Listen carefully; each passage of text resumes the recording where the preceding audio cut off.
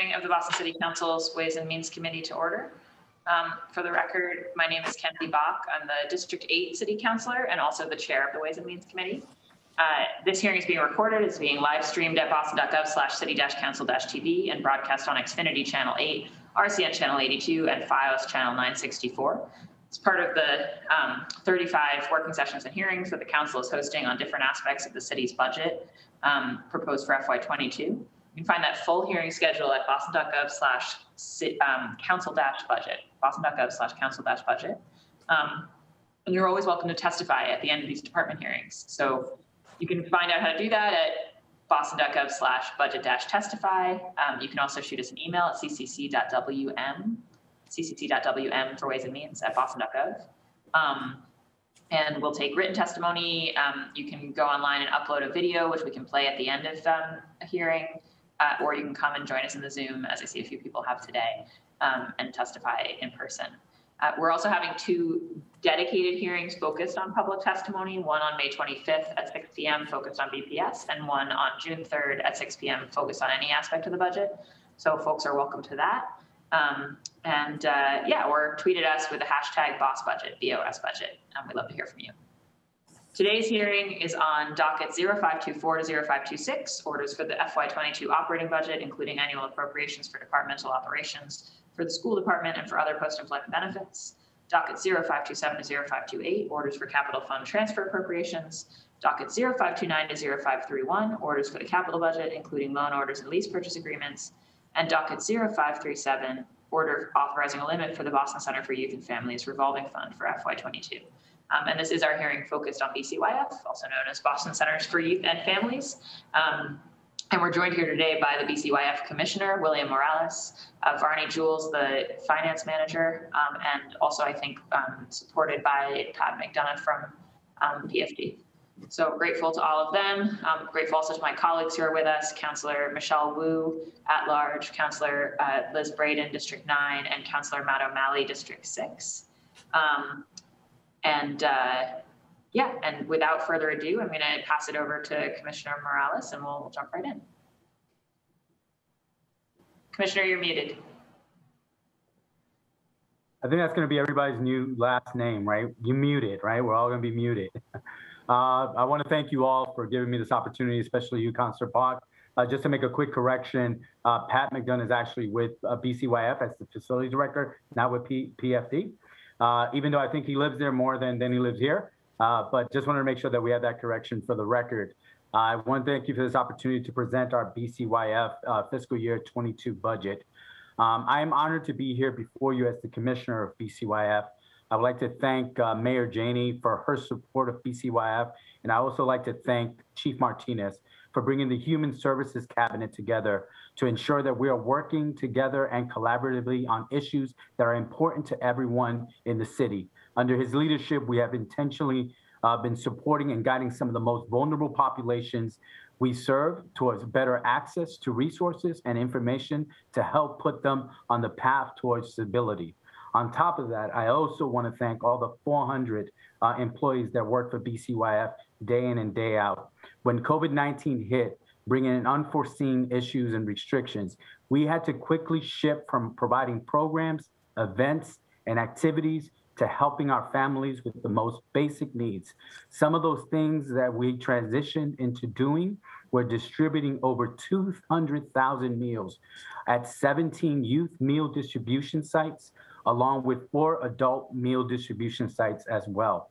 We delivered over 1,300 meals to financially challenged and homebound residents throughout the city.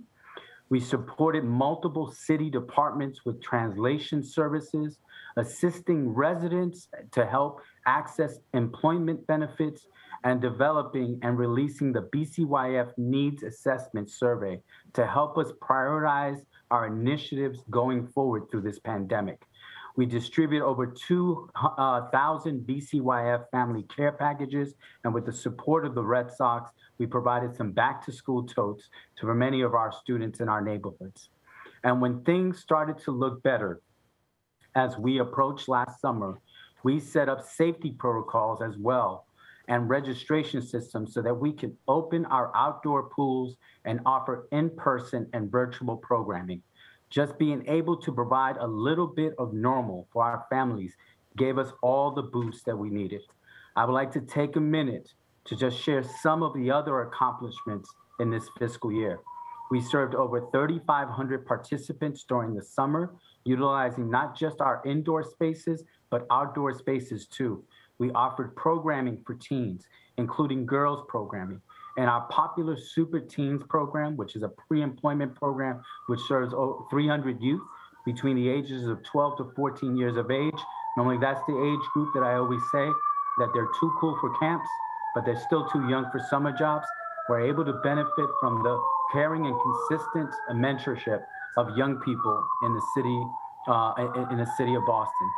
We are about to launch our new membership system that meets our data and operational needs and provides constituents and members with better service, integrates more seamlessly with other BCYF and City of Boston systems, and will be able to grow our change, uh, uh, will be able to help us grow and change as we do. During fiscal year 21, we worked with the vendor to build out that system, train our staff using it so they are ready when we fully migrated it, migrated it in May. Additional features will be rolled out during the fiscal year of 22.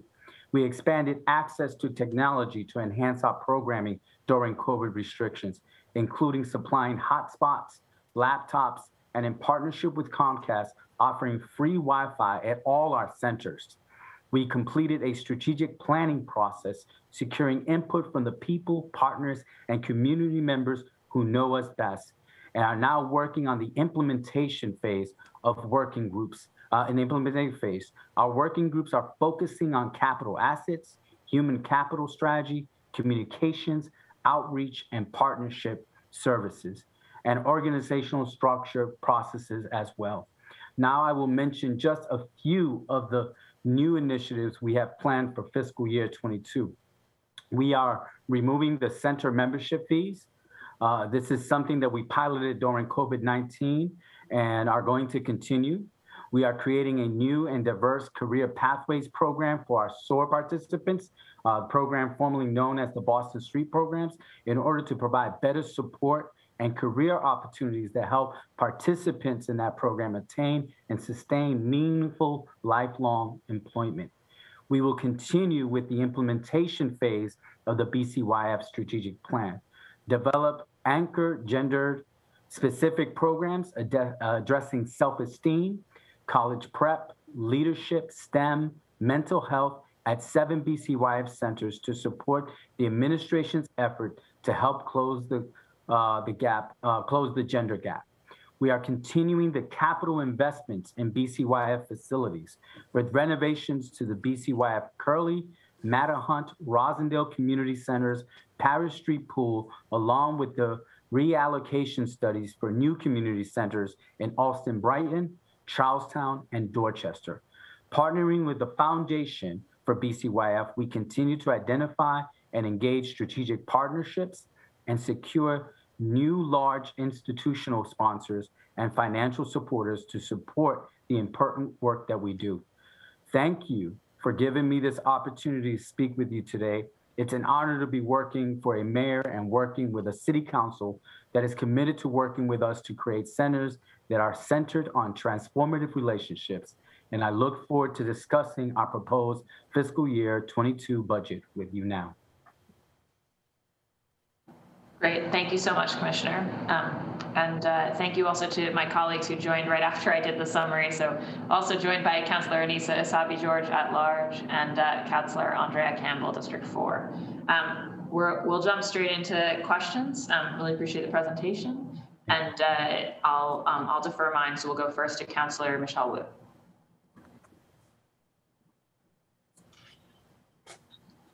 Thank you very much, um, Madam Chair. Thank you so much, Commissioner, and um, everyone here.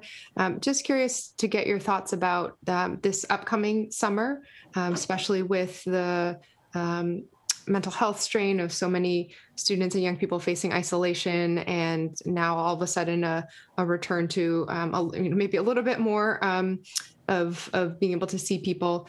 What how are you thinking about the, you know, especially as the fiscal year is kind of spanning across uh, mm. or ending and the first half of the summer and then more, how are you thinking about resources needed for this summer and what programming might look like?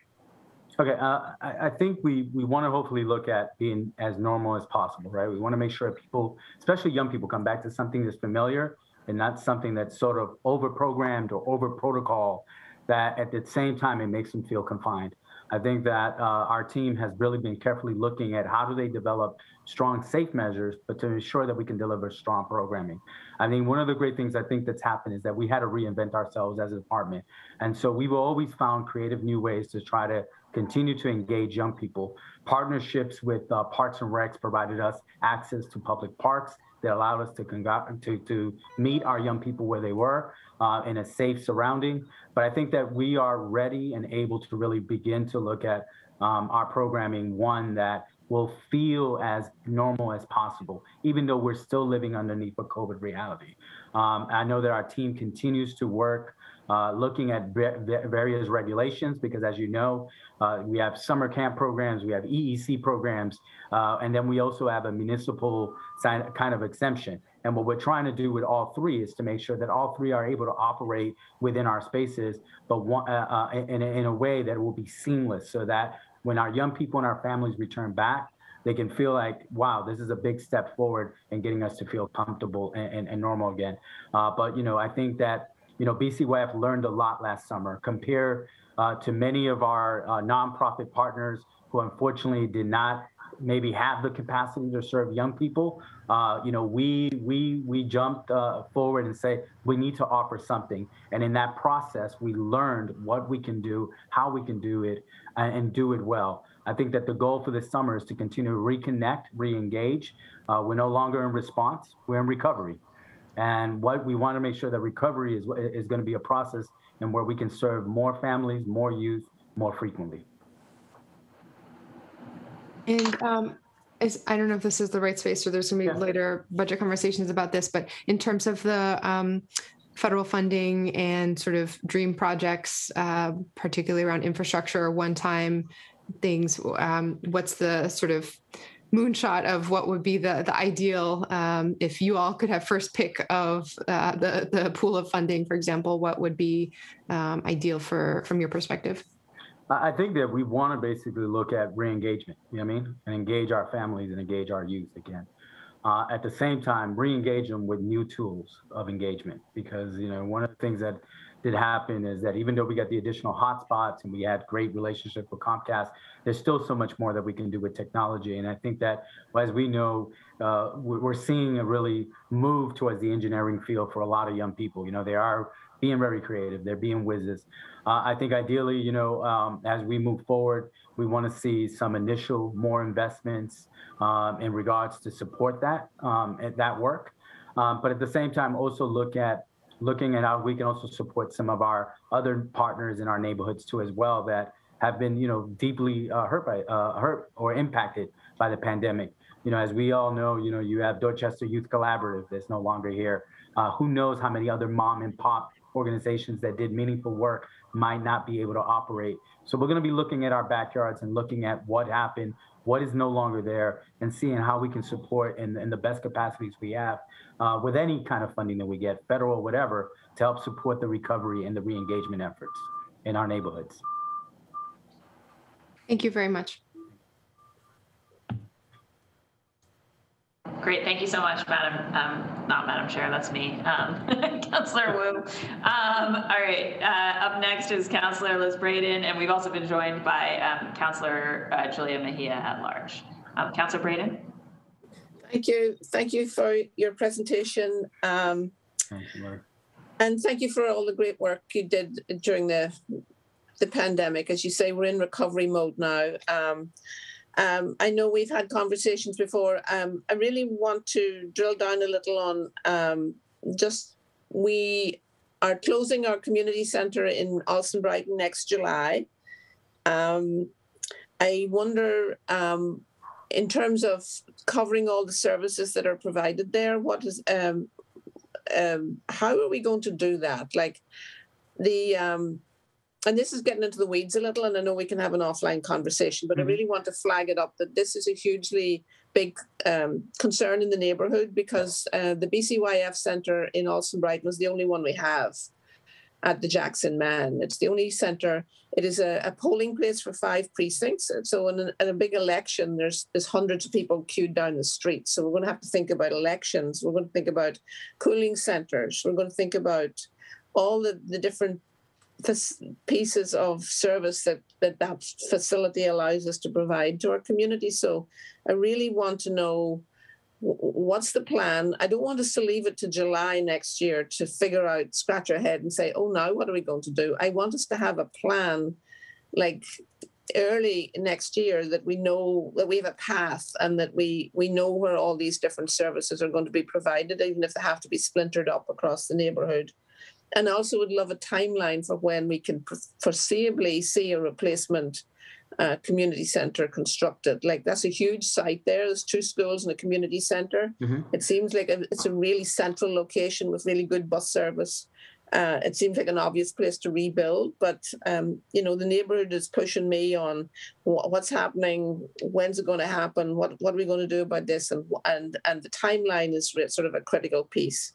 Um, and then the other issue that's come up in relating relating to uh, basically we need to have some sort of sustainable uh, uh, support for youth services for our young people who live at Commonwealth Housing on Fidelis Way and also at Faneuil Gardens. Um, our some of our legislative um, delegates uh, to the state uh, Councillor uh, Senator um, Brownsberger appropriated funds to help with youth workers, but we can get money, but throwing money at the problem isn't the isn't the issue. We need a dedi- we need some agency in the city to take responsibility for providing or supervising youth workers, or even having a resident services provide. Um, and this is a this is sort of a dovetailing into BHA, but a- resident services coordinator who can actually coordinate a youth youth worker or some youth youth services going in. We have about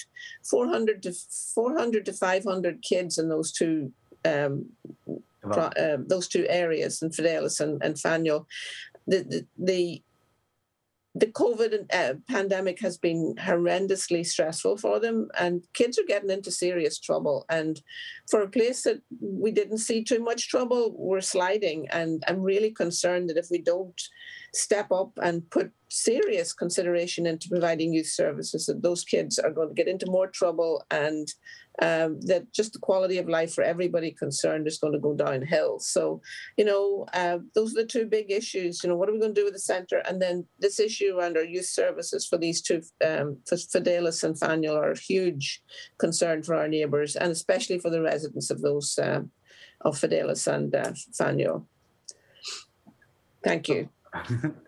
Sounds great. I'll, I'll try to tackle both of them as, as best as I can. I think we've had conversations on both, and I think they are definitely on our radar. Um, of course, Jackson Mann has been a big one that we have been uh, always putting before uh, the mayor's office um, as, as, a, as, a, as a priority uh, for the department. And you are correct. Compared to many of the communities that we serve, uh, we have mo- at minimum two community centers, you know what I mean, in some other parts of the city.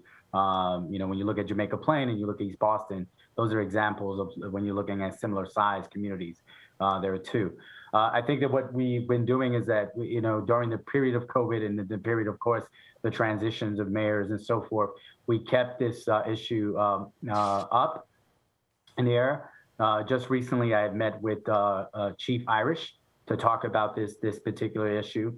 Um, as you're very much aware, this year's fiscal budget, there is a feasibility study that that has been uh, approved through the uh, well, will hopefully will get approved through this budget process, and that will begin to begin to look at what uh, spaces or lots might be available uh, for a sort of standalone facility in in the Allston Brighton neighborhood. Uh, but at the same time, one of the things that we did have a conversation about is to look at what is the available swing space that might be there temporary, because we just know that the feasibility study only tells us where we may plant a, a community center, uh, but it will then take another process to actually uh, put in the budget uh, the budget dollars that would be needed to actually build the facility, and that within itself is going to take uh, its time and its processes to do that. Uh, and I think that right now, especially speaking with our administrative coordinators, um, our leadership at the center, you know, I think that the key thing that we want to do is that we want to just make sure that we have a sustainable presence during uh, that uh, during the meantime after July 22nd that would allow us to continue to run the most crucial programs um, that that community depends on that community center to provide. And I think when you're looking at adult ESL classes being one of the key programs, when you're looking at uh, the EEC after school programs, those are things that I think we're going to have to pull in other departments in, maybe Boston Public Schools, uh, you know, of course, PFD, uh, any viable property that the city might own to think about how we might be able to plant some of those programs. Normally, when we've done some construction projects um, like the Curley and, and Roslindale and et cetera, uh, some of that program shifts to other locations. Not 100% of our programs come over, but we make sure that the key crucial programs actually do. Uh, I think that in the weeks to come, we'll definitely formulate that. Uh, this is definitely a priority. I know that um, in speaking to Chief Irish and uh, new director uh, uh, Kerry Griffith, you know, they're going to hopefully make sure that this thing gets pushed along um, as, as, as fast as possible in regards to the uh, feasibility study. And hopefully we'll be begin to hopefully formulate a plan and hopefully keep your office in the loop, uh, uh, uh, uh, Council Breadon, because you have been strong, a strong advocate and BCYF has appreciated your support around this matter. And I think that hopefully we'll get to, to a better place that by hopefully July 22nd, we'll have a good idea where our programs might be able to uh, exist on the temporary basis while we're working on a long-term sustainable plan uh, for that community in Allston Brighton. Uh, I think the second part of it, I know we've had internal conversations uh, looking at Faneuil, looking at um, Way. We know that there's been transition there too as well. Commonwealth is no longer there. Now BHA is actually operating it. Um, and to really begin to look at what other partners are, are also offering, looking at what the West End and the, and the Boys End, uh, excuse me, the West End and the YMCA um, is doing. It might be that we might have to take a sort of maybe targeted outreach approach to it. Um, but at the same time, to also look at uh, who who who might be looking at being the lead agency that can provide that support. Because uh, the one thing is that you could, you're right, you could plop in a youth work in there, but if they have no support, um, yeah. you know, and and additional tools, then it makes their hard, it makes their job a little harder. And if you know young people, young people are always looking and asking for things, and if you don't deliver, you lose your credibility with them. And so one of the things that I think we'll we'll we'll look at, um, especially in in the weeks to come, is to look at how we maybe look at dealing with the issue now for this summer temporary, but then to look at what's the long-term plan moving forward. And we've had some collaborative um, partnerships with the BHA, especially in the Bromley Heath area. That tends to be one of the housing developments that's mostly impacted by violence. And we worked with uh, Children's Hospital, and they've provided through the foundation some funding that allow us to put uh, some youth workers there but it's managed with the Tree of Life, which is a no neighborhood organization that works in the development that provides the youth workers with the supervision, but also the additional support. And I don't know if that model might be a model that works, but we want to make sure that whatever model we create, that it's created in partnership with the residents there, with the parents there. Uh, nothing is is more hurtful when somebody parachutes in without talking yeah. to the people who are in. It's better yeah. to build a, a strong youth model from the inside out, not from the outside in. Yeah, I agree. And we have been in long conversations. I'd say for the last six months or so, we've been talking to the residents in both those um, facilities to try and identify. But there is a huge level of concern. I appreciate your your attention to this, yep. and um, you know, I'm not going to go away. I'm going to keep pushing you on this. Uh, so, okay. uh, kind of on a Liz, if you know Barbara Pecci, who lives in the neighborhood, who happens yes. to be my regional operation manager, she does not let this thing go away. So I got to God bless her for always making sure that she's a strong advocate uh, for her for her own home neighborhood, uh, mm-hmm. but especially because she knows the families who live there. Yeah, appreciate that. Yep. Thank you, um, Madam Chair. I'm sure my time is up. Thank you. Thank you. Thank you, Councillor Breadon. Um, no, I think we all know how pressing um, figuring something out for the Jackson Mann is. Yeah. Um, also, sorry, I'm shrouded in darkness today, so people are going to have to still see my gavel despite the lack of color contrast. Um, all right, uh, and we were joined, sorry, I neglected earlier to say as well by uh, Counselor um, Frank Baker. Um, and uh, next up now is Counselor Matt O'Malley, and then it'll be Anissa Sabi George. Counselor O'Malley?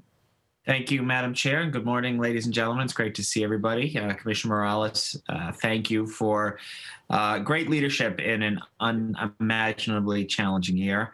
Uh, as I have said publicly and privately, and will will repeat, uh, we one thing that really impressed me um, were how nimble so many um, of our my fellow public servants were, uh, folks at all aspects of city government, and none more than uh, members of BCYF, you know, just the fact that, that so many sites were immediately transformed into uh, food uh, pickup uh, sites, as you had noticed in your opening remarks. It was uh, it was really well done, and and and kudos to you uh, and your team uh, again for being so uh, adaptable to the uh, challenges that a year and a half ago would seem completely outside the realm of possibility.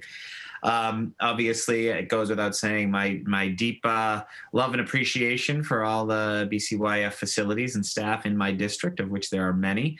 I have some uh, district specific questions, but first I just want to go over, and this may be for uh, Varney or Pat to jump in as well.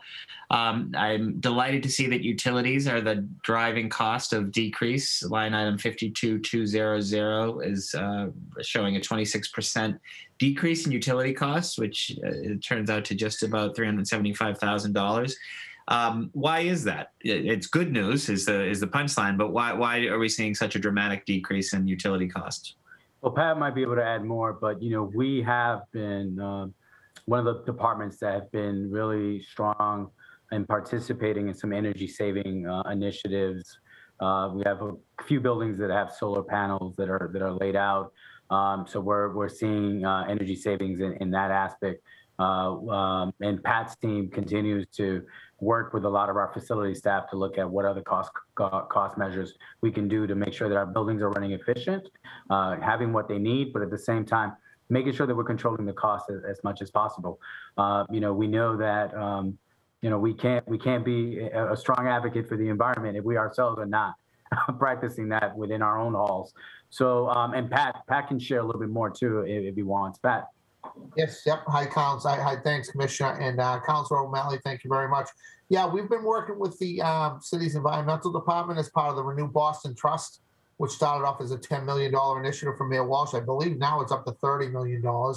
And uh, we got in on the phase one, which of course, uh, over here at the Tobin building where our main offices are um, in Mission Hill, we had 2.1 million put into it with a new uh, HVAC and ventilation system timing's everything in life, of course, and uh, given what's happened over the last, you know, 15 months, six, 15, 16 months. And but we also put solar panels, as Will mentioned, on both sides of the gym. Um, in Roslindale Community Center, we also put um, put them on the rooftop uh, over at Roslindale. We're hoping to put solar panels on more buildings. We've also done LED uh, energy efficiency um, retrofits here at the Tobin, at the Shelburne, at Curtis Hall, at the Flaherty Pool, um, and uh, we're looking to do more of those in Hyde Park Community Center also. So we're in phase two now with uh, working with Adam Mullen, who's at, uh, at the PFD Capital Project Manager uh, with PFD, with Honeywell, and City Hall Environmental, and um, the uh, with Chris Kramer, the Director of Energy, and uh, and they're always checking stuff. I mean, we they come out look at the transformers, they come out look at the uh, the numbers. So this is a, a a very big project, and it doesn't end when you finish the actual construction. So, I mean, for instance, I know that uh, Pat Lee, who works with Adam at PFD Capital, and Yeah. Honeywell. Pat. Pat, I'm sorry, I'm just going to cut you off just because I only have a couple. Sorry, I Great I'm news. on about energy efficiency. Sorry, Council. No, no, no. I, I could listen to this all day long. Um, and I appreciate this. And obviously, it underscores the point about the savings that, that any municipality can see. So, there is a plan to see increased PV panels on more. Uh, I mean, the, the bottom line is I know the answer is yes. And we're going to have to talk about retrofitting these buildings. But um, do you can you share publicly with uh, sort of what the next staggered buildings will be that will see PV panels? I know Curtis Hall in my district was in the mix. I'd argue Roche Center would be another ideal candidate. Yeah, I think I think what it is, Council. The short answer is is that the uh, we are definitely looking at all the buildings. It's it's about viability and it's about um, it's about energy efficiency and savings also. So I think at some point all of them are going to get it. I think it's just I'm, I'm not sure what the order is right now. Okay, I mean, again, uh, just more curious than anything else because that's uh, that's good news indeed. Um, other uh, sort of specific line items, it, it's essentially level funded, but to offset the three hundred seventy-five thousand in utility savings is a four hundred thousand dollar increase in, um, I think it's contracted uh, services uh, uh, staffing fifty-two nine hundred. Um, briefly, can someone just explain what that is? What, uh, the increase in what line item? It's fifty-two nine zero zero. Uh, Var- Ronnie, can, where's Ronnie? She might be able to shine a little bit more light into it. If it's contractual. That's the contractual, sir. Hi, good morning, Barney. everyone. Good morning, everyone. Thank you for giving me the opportunity. Yeah, that's the 529 line, the uh, contracted services line. And um, the increase in spending is basically um, due to the, we now, we've taken the, the funds from the sites and then we're spending more money in fixing things at the sites and things that the councils used to take care of before that we are doing. We are reimbursing them Mhm. for expenses and uh, that of their copiers and other stuff, but those go to copier account. But the the five to nine line, the co- contracted services, is basically we to retrofit some of our sites because of the COVID. We had to build uh, hire contractors to build wall separation walls for the um, the glass uh, um, partitions that we have at the sites and uh, and increase other uh, expenses that we had to do to in order to work and to make our sites uh, safe for um, for the public, even for the food distribution. So, that, so that's four hundred thirteen. That, and again, seems like a more than worthwhile expenditure. But four hundred thirteen thousand dollars was uh, funding for infrastructure and buildings to make it COVID safe. Uh, COVID, yes, yes, most of that was part of Yeah. that. Fair enough. Um, and then um, I'm going to get right to some uh, district specifics because I know my colleagues have been waiting patiently. um, excited to see, and, I- and I will add my voice uh, to support Council Breadon and Allston Brighton and the residents there as it relates to Jackson Mann. But from my district, you know, I'm delighted to see a lot of expenditures uh, in the capital plan going forward. Uh, there doesn't seem to be any in District Six. And what I'm looking for isn't I, I, I'm a realist and I recognize financial constraints. I don't need to say that we need to see a multi-million dollar commitment right now. What I do need to see is us being in queue in the queue in line, um, specifically for two. Uh, one is the Hennigan Community Center in the back of the hill, um, which is is beyond dilapidated at this point. People still use it, but it's just it's it's it needs so much work. Um, and then the second is getting at least a commitment for a standalone senior center in West Roxbury. Uh, 25% of West Roxbury residents are senior citizens. We have the highest percentage in the city by far.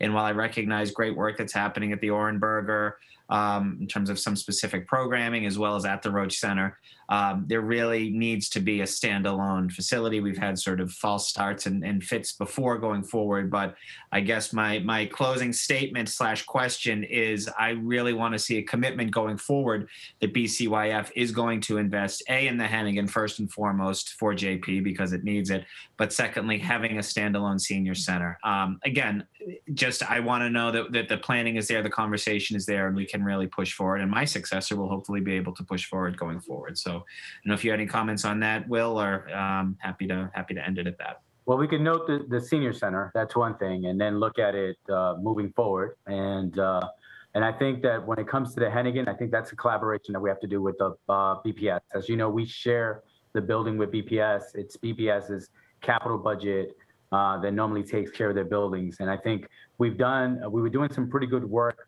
pre-COVID that we were having uh, some standing meetings, uh, observation meetings, walking through the spaces together. Uh, um, Man, I think that under uh, uh, Superintendent uh, initiatives, I mean, she's looking at uh, all her sites being sort of warm and, and welcoming spaces. I think that Pat will probably continue to work with the facilities department to tackle some of the issues there um, and continue to hopefully make that a, a prominent space because we we definitely know that it gets the heavy use not only uh, by constituents in Jamaica Plain but also by the kids who live right down the street in the Bromley in the Mildred Hailey uh, housing development as well. No, no, well said. Sounds like we're on the same page there. I look forward Yep. to the conversation. Thank you, Madam Chair. Thank you, man. Great, thanks so much, Council President. Um, uh, Next up is uh, Councillor Essaibi George, and uh, then it will be Councillor Campbell, Councillor Mejia, Councillor Baker. Councillor Essaibi George? Thank you uh, very much, Madam Chair, and thank you, uh, Will and your team for being with us today.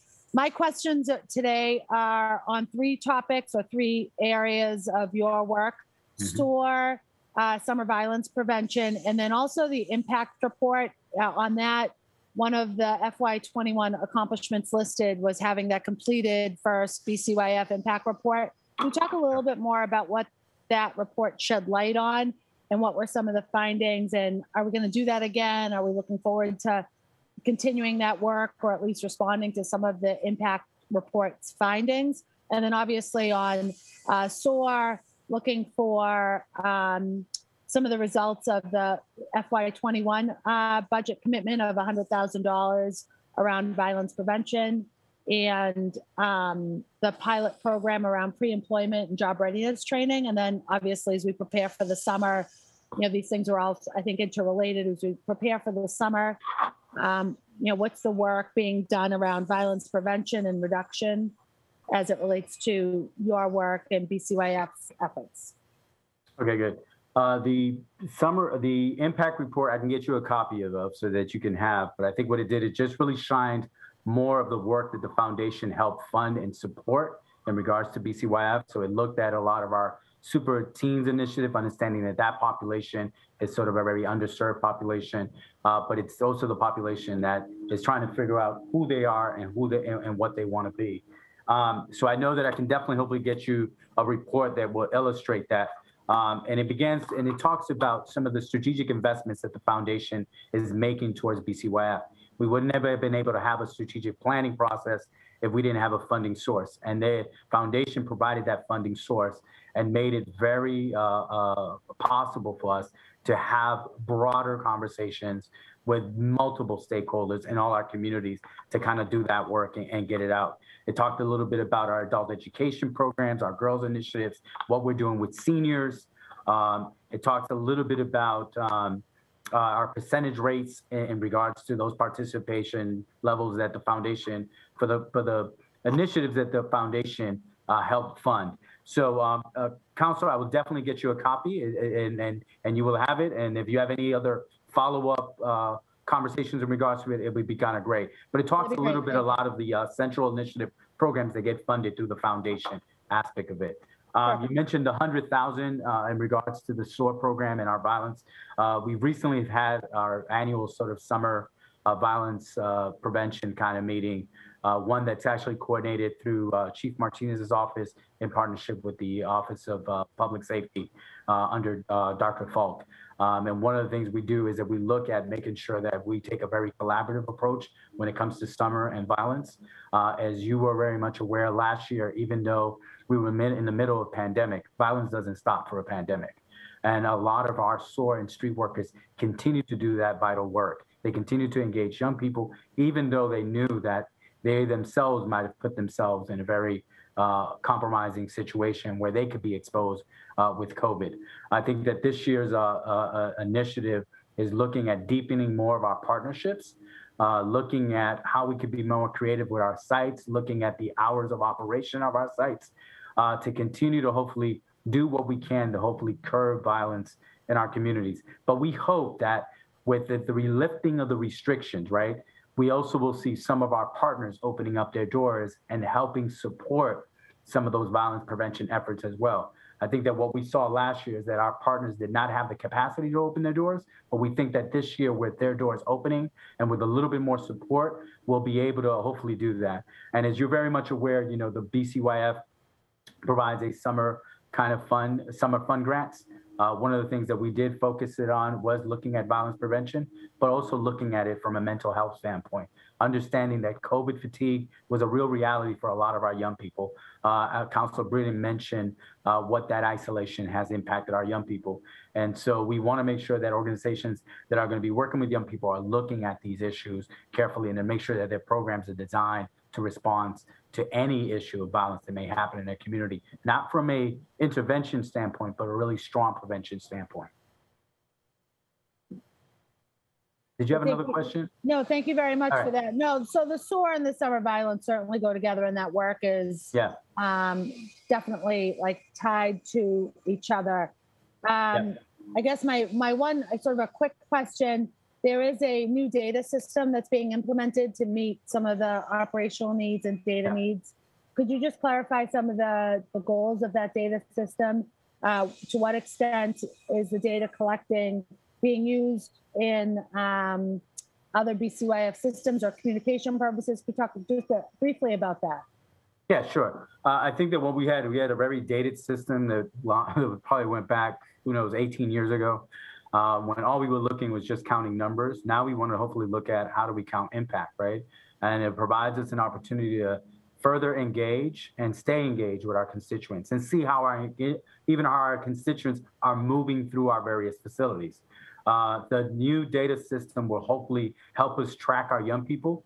I mean, I envision that if a young kid came to us, one of your, even one of your own children at the age of 12 came to us as a super teen, we can see them graduate to the DYE program, graduate into maybe a small summer seasonal employment program, and we'll be able to track how a healthy continuum, uh, how they move through our spaces and through a healthy continuum. I think that that's the thing that we didn't have before. One of the things is that BCYF is really known as one of the strongest organizations that partners with a lot of uh, nonprofits.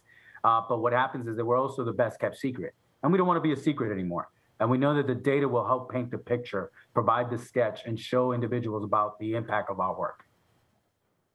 Uh, great, and I see the gavel. I appreciate um, the commentary on both of those things. And if I could just say out loud, and it's not a question, just a comment. I know that we're on the same page uh, with this.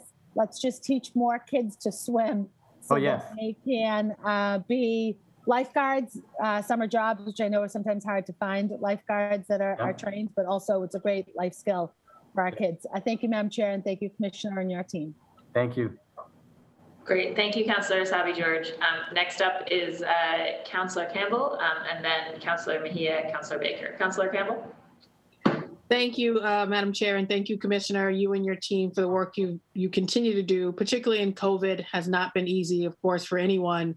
Um, and you guys had to transition to some online services and all kinds of creative ways. So thank you and your team, um, and of course, of course, your entire staff of folks who clearly aren't on this Zoom um, for their service as well.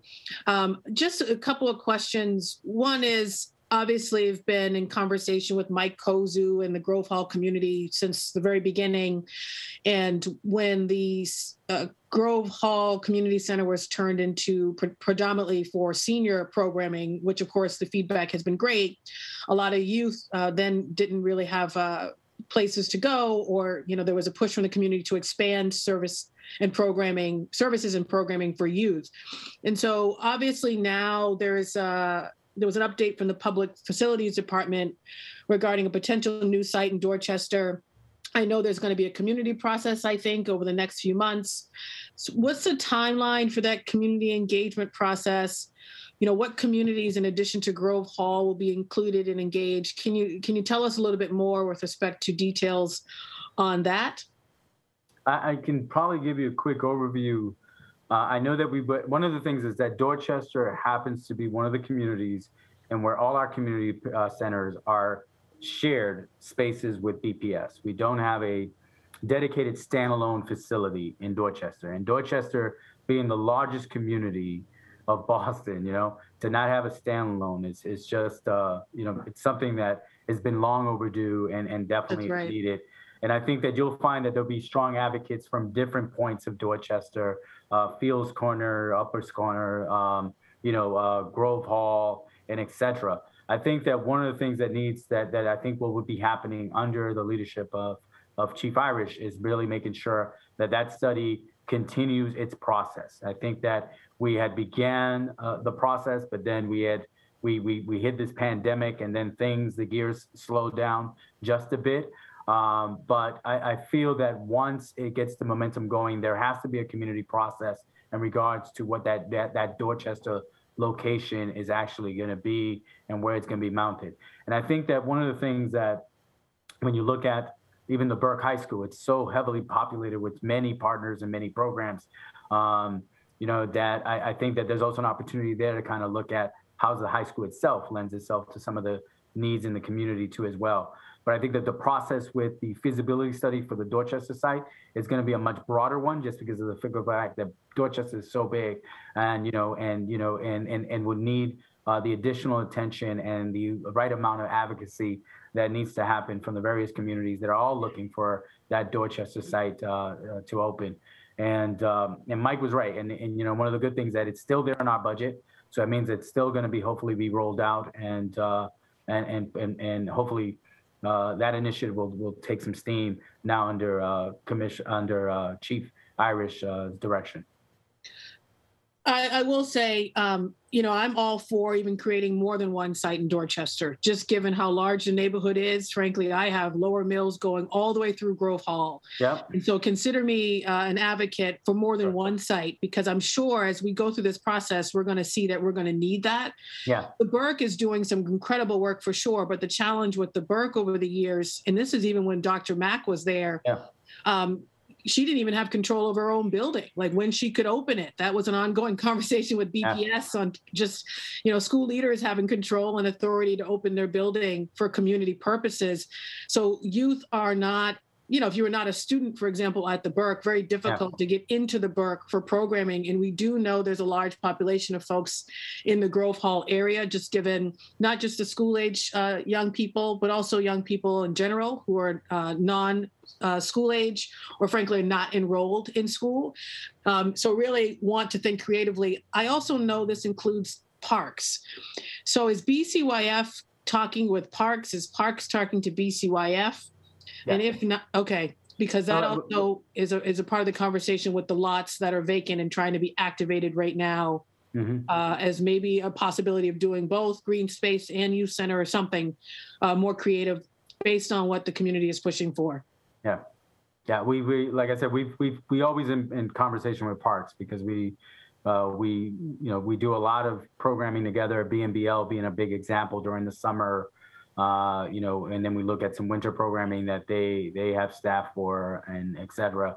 And we have, I know that that lot that what they're talking about, I think there was a community process that went through that too as well, where the community also wanted a park there. So it's one of those things that I think that uh, needs more facilitation on, more conversations on it too as well. Uh, you'll find, uh, uh, Councilor Campbell, that our seniors want parking.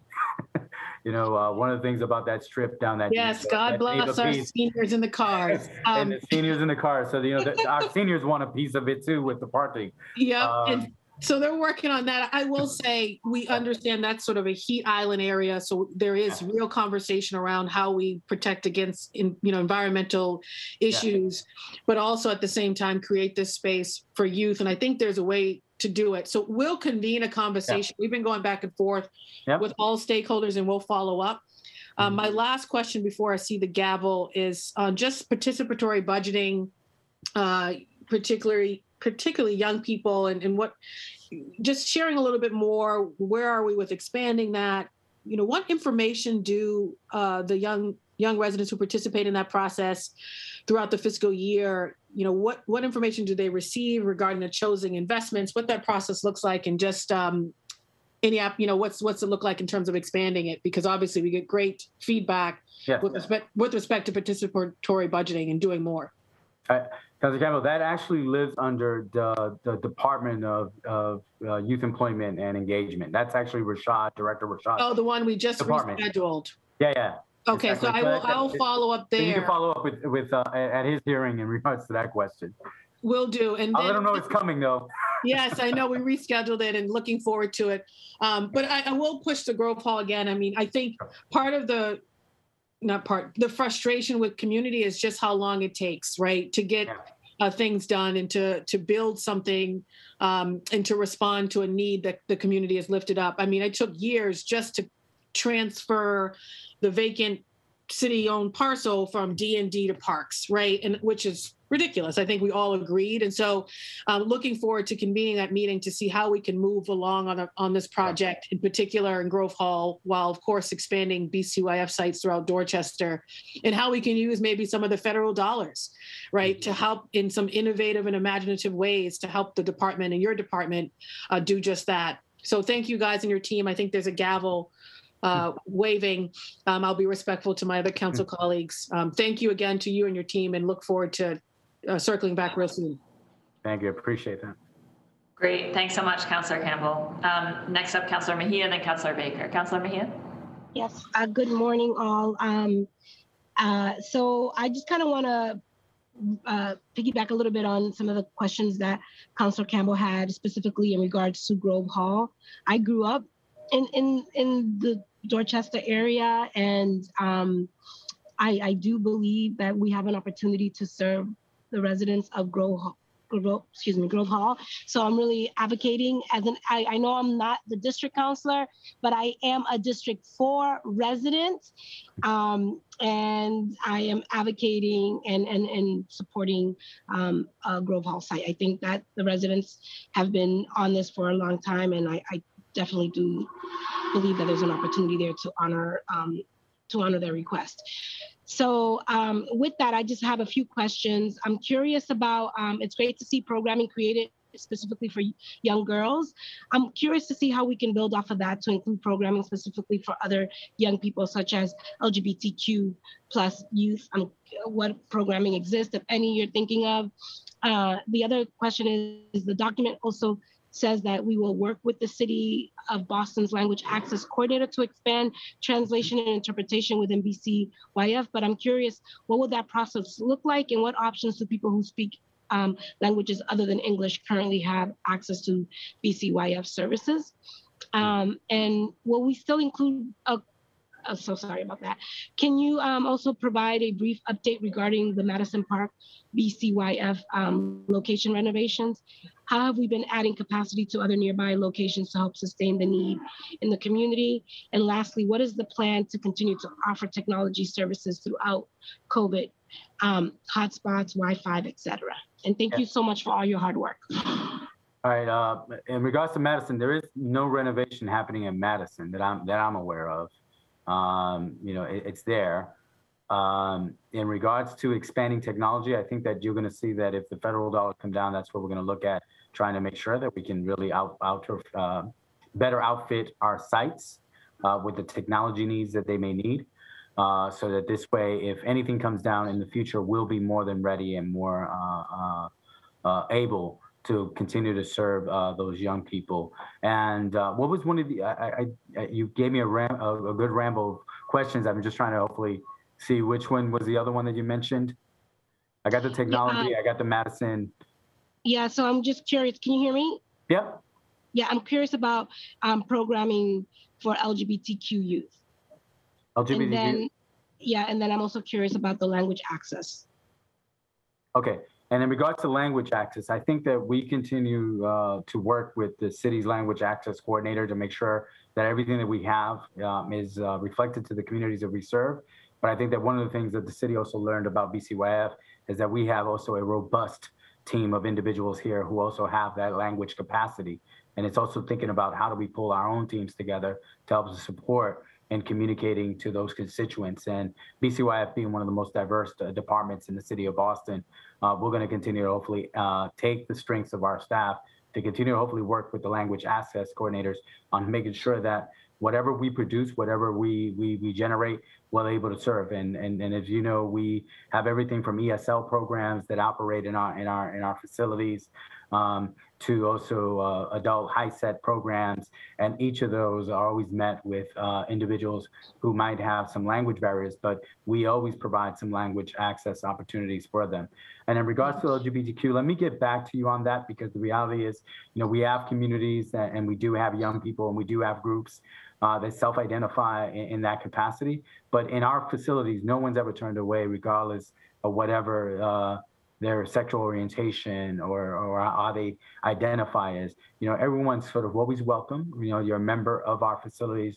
Um, and so our sites are always uh, inclusive of all. But I'll get back to you more uh, in regards to see what sites might be doing something specifically um, in regards to that. But I don't like, you know, clustering kids together because they, they, you know, they, they're, they're in a particular group. I say we need to be a very inclusive organization and where we're teaching young people how they understand the differences of others because in learning the differences of others they become better individuals absolutely I, I totally agree having worked with young people my entire career i, I agree with you wholeheartedly i guess the question was really yeah. since you're creating uh, youth programming for girls. Just Yeah. curious if you were thinking about other groups as well. But um, just just for a point of uh, clarification on the website, it says that uh, the Madison Park site is closed for renovation. So that's probably where, um, and you know, in prepping for this hearing, we um, got our, our research from the website. Um, Okay. but It says that it's closed for renovations at this point, so we just wanted to get an update Yeah. on that. Um, and then one last thing that I'd just like to um, talk a little bit about is, do you guys have? I know this is not about employment. You guys are specifically just the sites, but I'm curious what opportunities exist, if any, to partner up with Madison Park around. Um, whether it be working with young people to design. I know I, I participated in some of your programming last summer where the young people were creating and designing their own sites. Mhm. Will we be seeing more of that? Um, Yeah. creating opportunities maybe to even partner up with Madison Park. I know they have a culinary art um, program where they might be even be great to use as a vendor to make cookies for the sites. Like, what opportunities are you looking to uh, tap into to help support Madison Park?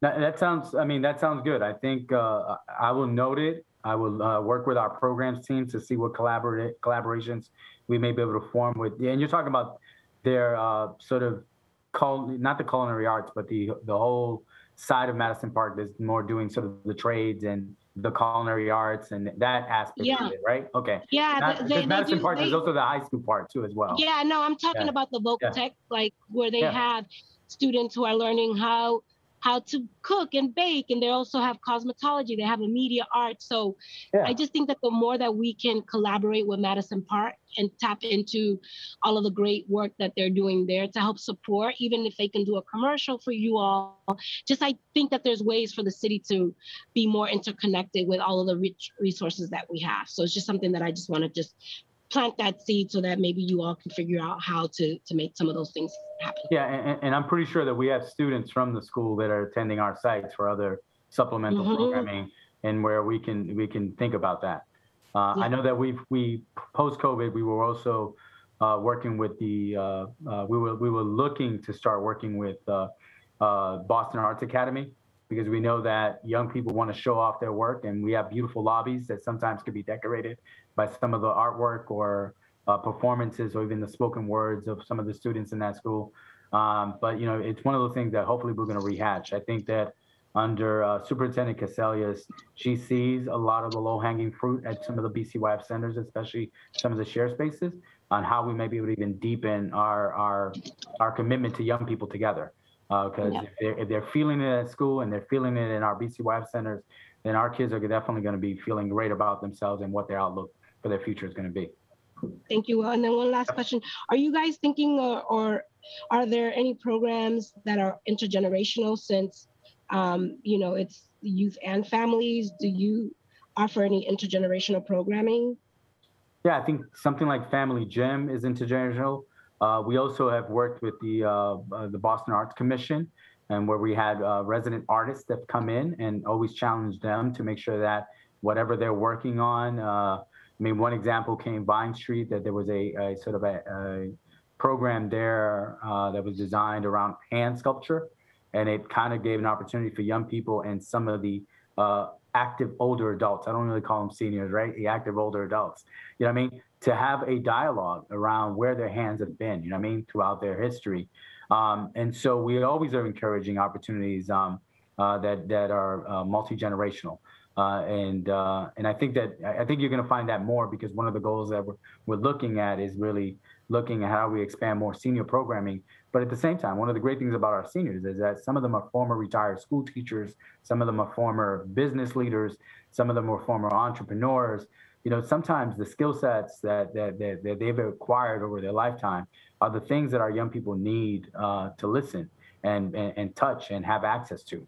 Because sometimes when they think about an entrepreneur, they think about somebody big, you know, Jeff Bezos. But the reality is, the guy that runs the barbershop down the street is, is a much uh, viable option for them to connect and, and, and learn from. Thank you so much. I see the gavel, and I'm Yeah. really encouraged by all your work. Thank you. Thank you. That's all for me.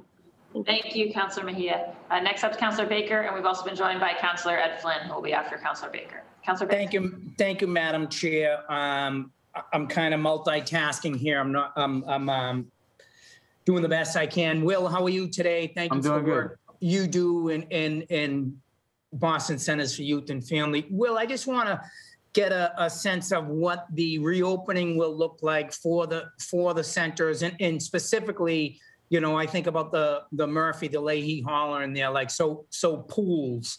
I know, I know your focus will probably on the, be on the outside pools, but do we have a plan in place for the, uh, the, those centers that have indoor pools? Will we be able to open those this summer or, um, if you can talk about that a little bit? Sure. Um, right now, we are working through some contingency plans in regards to our summer pools. Uh, I think that we're just like other other partners that have pools, the YMCA's, uh, Boys and Girls Clubs, and uh, even private facilities. I think that one thing that we're struggling with is that when pan- the pandemic hit, the American Red Cross, who certifies individuals for for for lifeguard, right, changed their format, and because they couldn't do the hands-on touching stuff, you know, some guards have chosen not to recertify.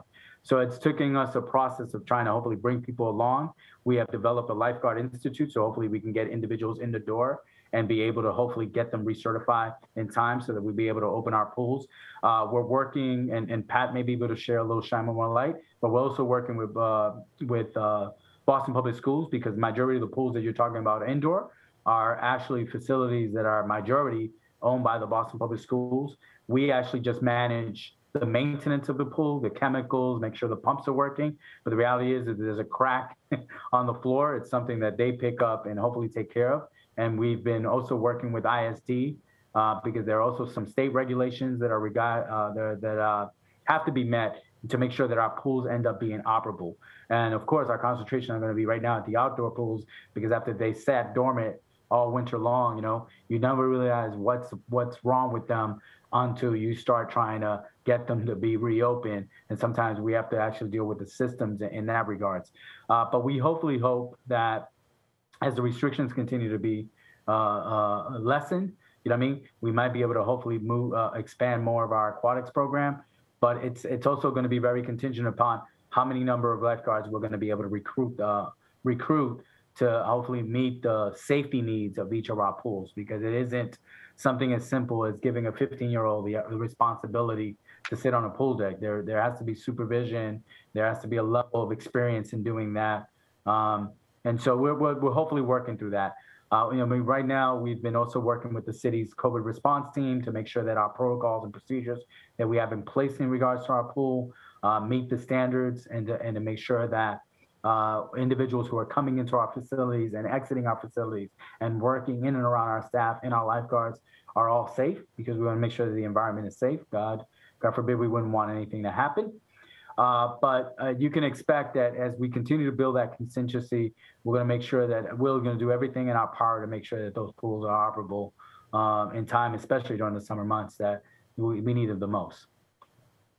Excellent. So, um, like when we're talking about the shortage of, of lifeguards, what is it we're talking about, Will? Like, do you have a number? And if you don't, that's fine. We, you can, we can always just do a follow up. Do you have a number of like what, what we would need and then where we are? So, so like a number of, of a potential, how many people we would need to fill these spots?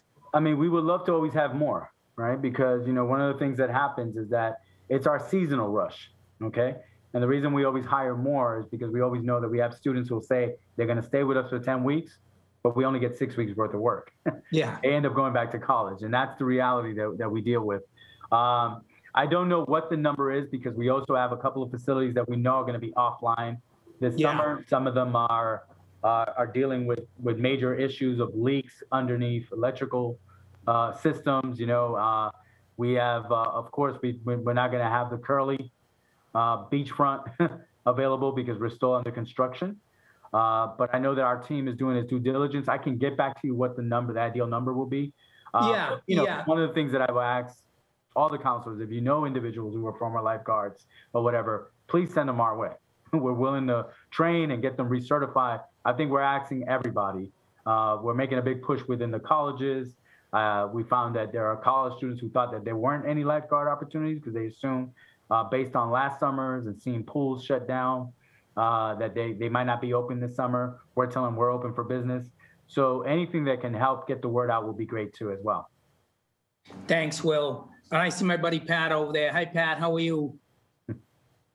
Well, good, Council. Thank you very much. Good. And just to kind of make a comment, I, would know the answer that with a lot of these um, centers not getting a whole lot of use, are we in, are we in better shape, worse shape? Were, were we able to maybe go after some deferred maintenance there during this COVID time? Like, were we able to use the empty centers to be able to get some work done over this past year, Pat? Um, you know what? I, I, we did work with BPS facilities to do some, uh, to do some work in the centers. Um, for instance, in Council Flynn's area, uh, the Quincy Auditorium is gonna have some work done coming up now. Um, most of it was preventive maintenance. We did have some problems also. We had roof leaks that caused some gym problems at the Condon, for instance, the, uh, the floor buckled, so that had to be fixed.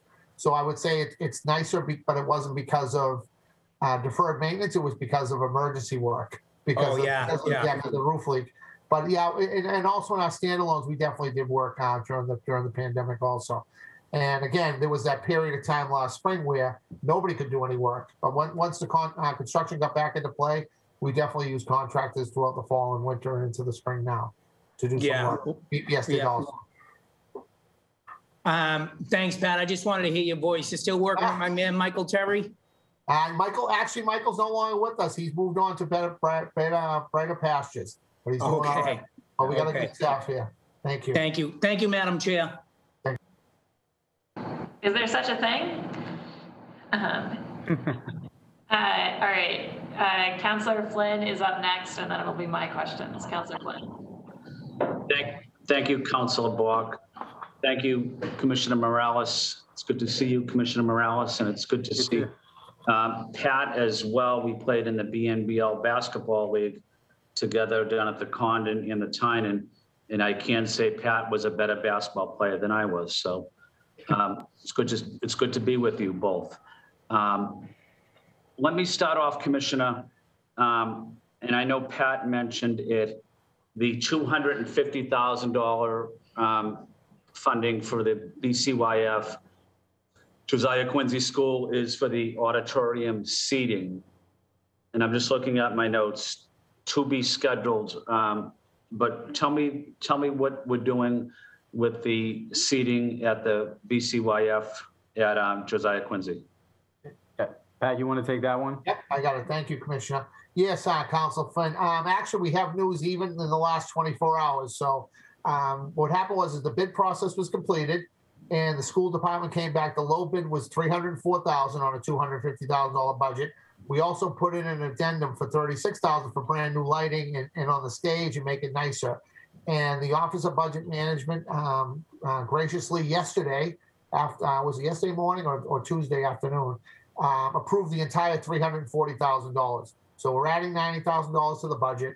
The project's gonna go forward. I'm not sure on timelines yet, but we just got the money secured for the con, the low bid contractor. So it is good news. The two hundred fifty thousand dollar budget, I believe, is now three hundred and forty-six thousand dollars as of yesterday, about forty-eight hours ago. Thank you, thank you, Pat. Thank you to the BCYF team. That's, that's important to know, especially as we know during the last year, it's been a devastating year for the um, Asian community. That auditorium and that school is used by many Asian students, so I know that will be very helpful. Hey, Pat, I know there was an issue in, in the past on that auditorium, but m- more so on the, on the, um, what do they call it? The, um, uh, the stage. But is, will the stage now be ADA compliant? Yes, it should be. I, I, yeah, in order to do a con- uh, contract, a contract project like that, which after one forty-nine bid process, legally, you have to make it ADA compliant. part of the Okay. Okay, yeah, that's, that's important. Thank you, Pat. Um, Just going over my notes here. Um, I know you talked about deferred maintenance. There was some issues at the Blackstone, BCYF Blackstone on maintenance issues. What, do we know, can, can I, if, we don't know what they are, can I get a list of them? Um, And in, I don't know if there's, if there's also plans to do any upgrades to the Blackstone, but that, that facility plays a critical role in the south end op- it's used by Latinx kids, it's used by African-American kids, the Cathedral, Villa Victoria. You, you don't get a more diverse group than, than the, the Blackstone um, youth. What are we doing with the Blackstone to help, help make services better for the, for the kids? Yep, and the Blackstone is actually a, um, ball, we're, we're a BCYF Community Center, the Blackstone Community Center within a, within a larger complex. We're in Building C, which is the Boston Public Schools own the facility. So BPS Facilities Management would do capital project planning. We do work with them on that. We work with them in the past on the gym floor and on doing things in the building itself. But in terms of um, uh, preventive maintenance stuff, they, that would be on their end of it, BPS Facilities Management. However, um, we can get, a uh, if we have a list together, we'll get a list together from the community center side. But usually anything we have in Building C, I can say that BPS Facilities Management, we have a great relationship with them. And I mean, I have all their cell numbers. They all have my cell number. We talk, you know, weekends, nights, so it's not like we can't talk 24 seven. And um, we, we, we'll, we work together. I mean, we just got something this morning about an AED, so they're already working on it. An AED beeping. Sounds like a little thing, but when you hear a beeping noise all morning. No, that, no, thank, thank you, Pat. Um, two, maybe two, two, two brief things. Certainly the Curley Recreation Center, obviously a lot of funding is going into that. Thank you. I know the plans are moving forward, uh, progress is being made. Some residents asked me to get an update on the trees that were re- removed. I know they're going to be replaced, but can you just get, can you just highlight to me what the process is of replacing the trees? And if there is a community process of replacing the trees, um, just make sure that I, I can be included in it. Um, Um, yeah, uh, Council Foot. Actually, uh, ironically, the trees were removed last November, and know people started talking about it in the spring. I think it's just because of the weather. But I mean, in terms of that, there was always a deferred plan. There's going to be all new plantings there, all new bushes and trees.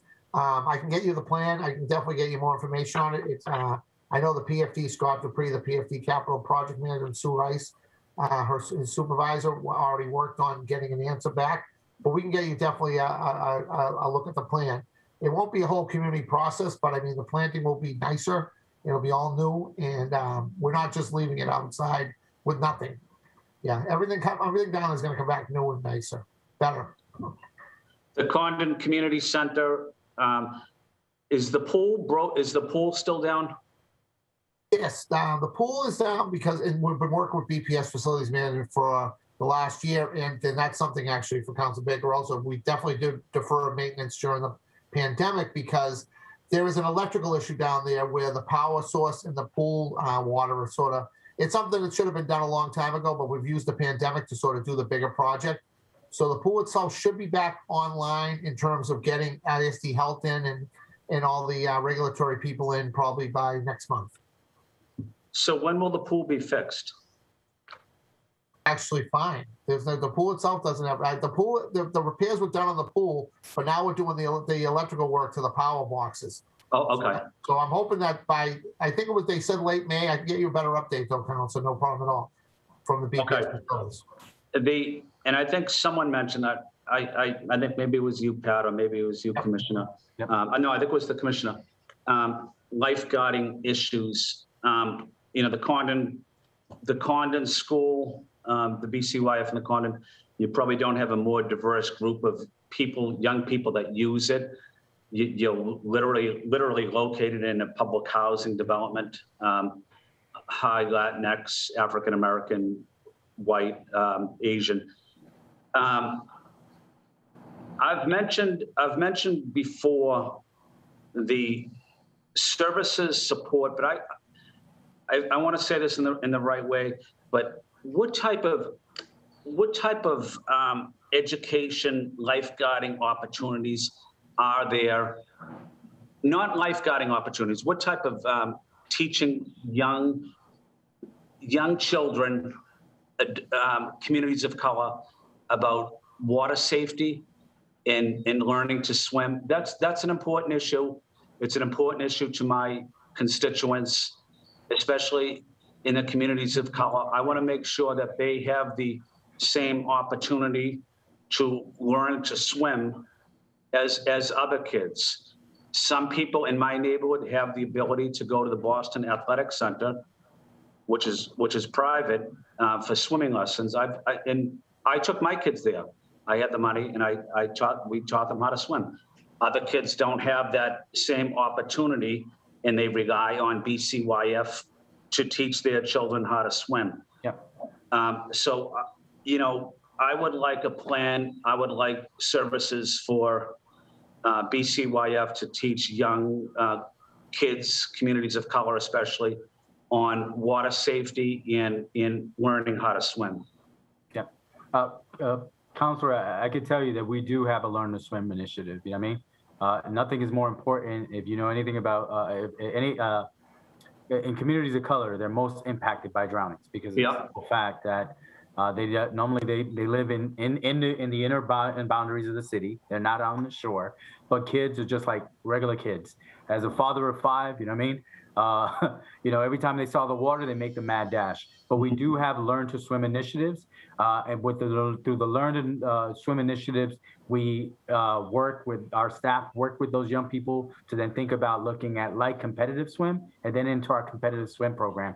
Given the year that we've had with the pandemic, it was really hard to, to even do any of those programs because of the simple fact that they will mean that you have to make contact with an individual. And if you remember at the beginning stages of this, we didn't have a playbook. We just didn't know how people were contracting it, how they were getting it. Uh, even though there were CDC guidelines that said, you know, you're in chlorine water, you might be less accessible. We just didn't want to put anybody in risk. I think that when we are finding ourselves back more in a operable kind of uh, phase that we are a little bit much more comfortable, that's always going to be our priority. I think that one of the reasons we find ourselves short a little bit in lifeguards is because we haven't had our regular population of kids who continue to come in year in, year out, day in and day out, and then we push them to make sure that they go back and get their lifeguard certification so that they can be ready to work for us. Uh, but you can you can count that that's a big initiative for us. Um, you know, one of the things that we missed last year and what we missed this year was our big city, uh, our big citywide swim meet. Um, that didn't happen, and, and, and that's a big uh, uh, gap. But I can tell you that um, our leadership here does a lot of that work. Jeff Mackey is one individual that does a lot of water safety trainings uh, for our guards and for our leadership in, in the aquatics program. And uh, one of the things that we're even going to do is hopefully push aquatics even much more further and looking how we may look at consolidating some of our practices so that this way we can streamline and provide more opportunities for young people, especially in the schools where, you know, the kids in the condon, you know, we can get convince BPS, hey, if kids don't know how to swim, let's make it a, a, a situation where one of their periods could be actually learn how to swim for their own safety. No, w- well said, Commissioner. Thank you. Yep. Um, Thank you for that commitment. Thank you to the BCYF team. You guys are doing good work uh, throughout the neighborhoods of Boston, and I just want to say thank you and looking forward to working with your dedicated team throughout the city. Thank you, Council Bok. Thank you, Councillor Flynn. Um, next, we're going to go to my questions, and then I will, because we've had three members of the public who have been patiently waiting, I'll take public testimony after the first round, and then if any councilors have second round questions, if you can just raise your blue hands or let me know on text or something, just so I know. Um, uh, and yeah, so that's the plan. So just letting the public know that um, I will, after my questions, I'll take the three folks who are in the waiting room. Um, Commissioner, uh, first of all, thanks to your team for sending over answers to a bunch of my questions. I appreciate that. Um, and uh, I, I wanted to, and I was, I was particularly gratified to learn that um, BCYF's been working with the, um, with the YE participatory budgeting around um, that media center for the Tobin lower level. Um, would Yep. love to just get a little bit more understanding about where that is timing wise. Sure. Patsy, you could, you could share a little bit more, Pat, on that. Um, it- it's, I think it's our media program you're talking about, right? Yes. Is it Tobin? It's called the Future Media Center. sir, yeah. Uh, Yes, it's, it's something that the, what it is with the youth participatory budget is they, they pick what they want. And then that, that's sort of what they want downstairs. So we're gonna do it in the lower level. There's some rooms down there. There's rooms for the computer lab and then there's the other Celtics area. There's two rooms that are sort of a little bit older and we're trying, we're trying to look at whether or not we're gonna build it out. Uh, we got, we're, at the point where we're ready to bring a designer in and look to see if we're gonna build it out and build a bigger media center try to have it sort of a media center that also does some jobs training for, for uh, teenagers and uh, maybe get some involved and bring people in from the local universities or the Honeywells of the world that that can come in and talk to them and tell them different things. Got it. Yeah, no, I mean, I, I, I've, I've been in this space, you know, obviously really admire what John Jackson does with all of our youth. And I know that, um, I know there's been a desire to renovate down there. Uh, would- and would love to just make sure if we're doing it, that we're sort of like, we're doing it up to the most useful standards, right? So. Yeah. And is Yeah. there still a thought about having a sort of 3D printing aspect in there or is that separate? Yes, there is. Yes, there is. And John and John and his uh, John and Andrew uh, uh, Drew have been involved in the in the process with us with with DYE and, and my staff.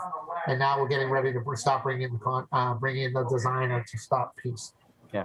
Okay. And, and I, and I think, uh, uh, Counselor Bok, I think John already has 3D printers in there. Yeah, I thought He's he made, might. he- he's made Yeah, some he cell phone cases for me, so that the kids designed and gave to me, so, Great. Yeah, no, just thinking about how to make that as yep. as sort of useful and, and interactive a space as possible. Obviously, with you know, with Wentworth, with Northeastern, with all these places nearby, we do want to do more leveraging of those relationships for our youth. Um, yeah, and I'll just say, you know, the Tobin's the only um, BCYF center in my district. Um, much like Councillor Breadon, most of my district is without. Um, and it, I mean, it's led to private solutions, the Hill House um, organization that sort of serves the Beacon Hill West End world. Um, but uh, it is a it is a regret of mine that um, that we don't have more of a footprint in the district.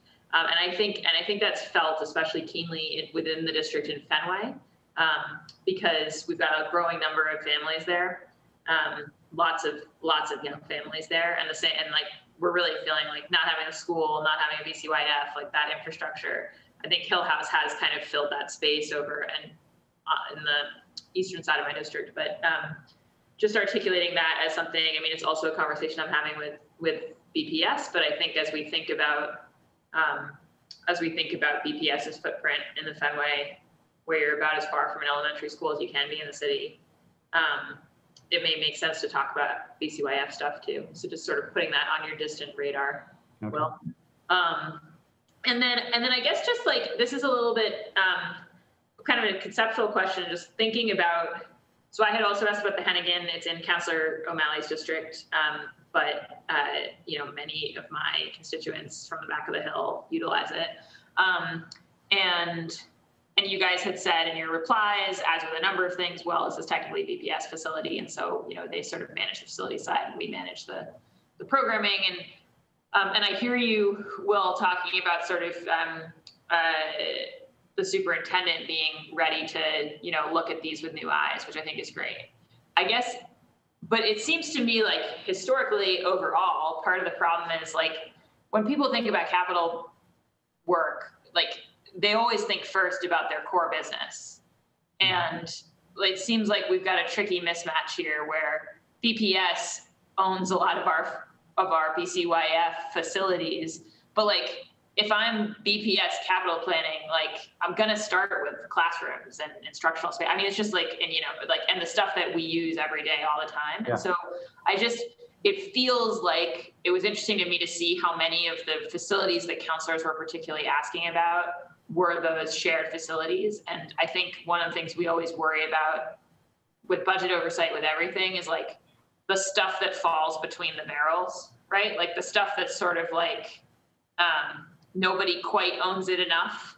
Um, and so as a result, it like kind of gets passed over. And so I, I just, I, I want to push you a little bit more on kind of um, where we are and what you think the strategy is for making that kind of not the dynamic for our BCYF facilities for the coming decade. Because BPS announced a very ambitious capital plan last night, um, which we'll be discussing with them, you know, in the weeks to come. But even that, like that very ambitious capital plan is going to take a lot of money and a lot of debt, and it's and it doesn't involve touching a lot of these spaces, right? So, so I'm just, I'm sort of curious if you could talk Yeah. a little bit more about the partnership Sure. and strategy there. And, that's great, uh, Councilor Bok. I mean, one of the things that I did when I uh, assumed the role here as commissioner and speaking to our team here, one of the things that was long overdue needed was a strong MOU that really positioned both of us to work with one one another and not look at ourselves as silos. And I think that there's been a history of a lot of departments always working in silos. And I think uh, by uh, you know the past administration, Walsh's administration, and now the Janey administration, this need and and and and given the pandemic, we demonstrated how working together has been better for our city. And so we are in the process now that we actually had a signed MOU right at the beginning of the pandemic. We just couldn't ex- execute it fully because of the simple fact everybody went remote. So it was really hard. I think that with the new current MOU is going to provide an opportunity for us to look at those big bucket areas, right? Looking at opportunities and where uh, site leadership from BCYF and site leadership from BPS are really talking to one another to think about what are the benefits of us doing programming and supporting our families um, uh, in, in a way that they've never been supported before. So that we are very much, uh, very be, become very much more intentional about understanding what's happening in the school day so that we could be more supportive at the end of the school day with our students. And one of the other areas that we've always talked about was the facility aspect of it.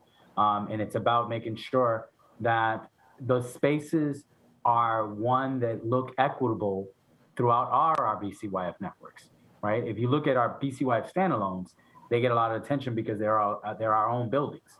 But we want to make sure that the school ones actually look reflective of that. And we have some school sites that some of the aquatic centers, some of the basketball courts look stellar to as well and, and outdo us too as well. So we have to look at it through a very equitable lens to make sure that our constituents, when they walk into one of our spaces, they're getting the same warm kind of spaces uh, that they're needed.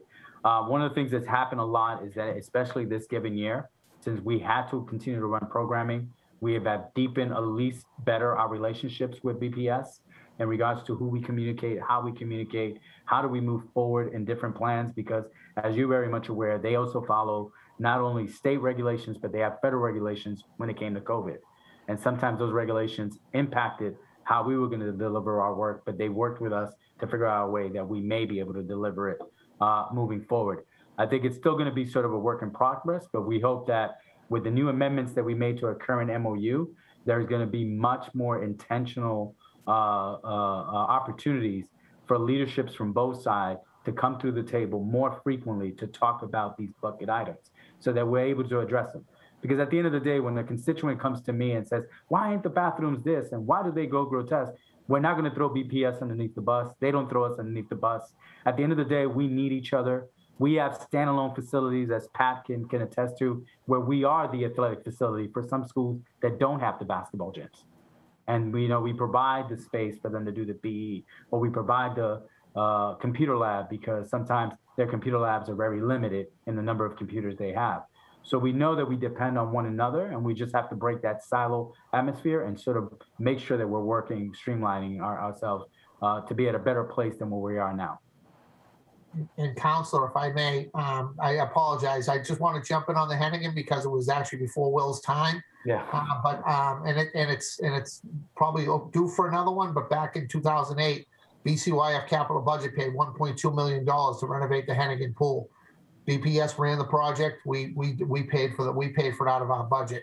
And again, it's, it's been you know 11, 12 years, but it, that was in uh, 2008 dollars.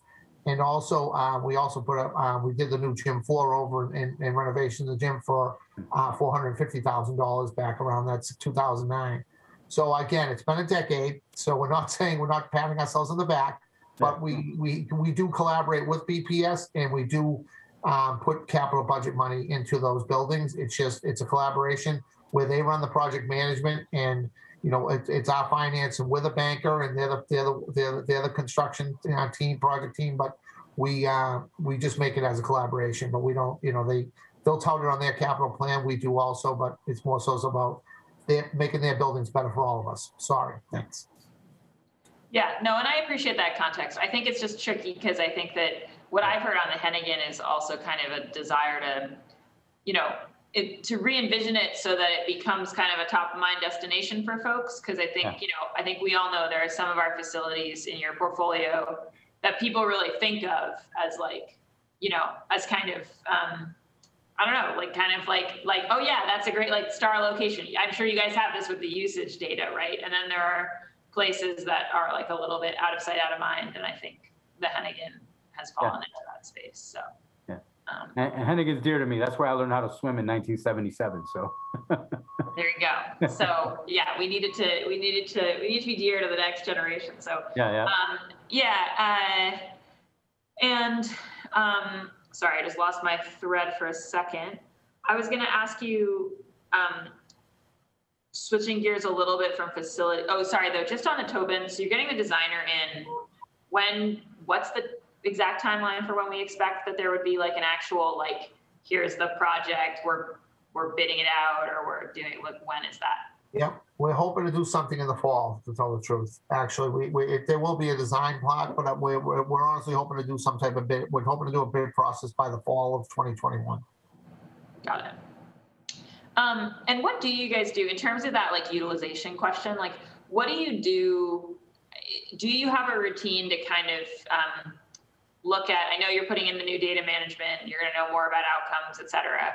But even just the old school data of like you know utilizations and whatever. And and granted, this is not about this past year in the pandemic. I'm just talking about in general.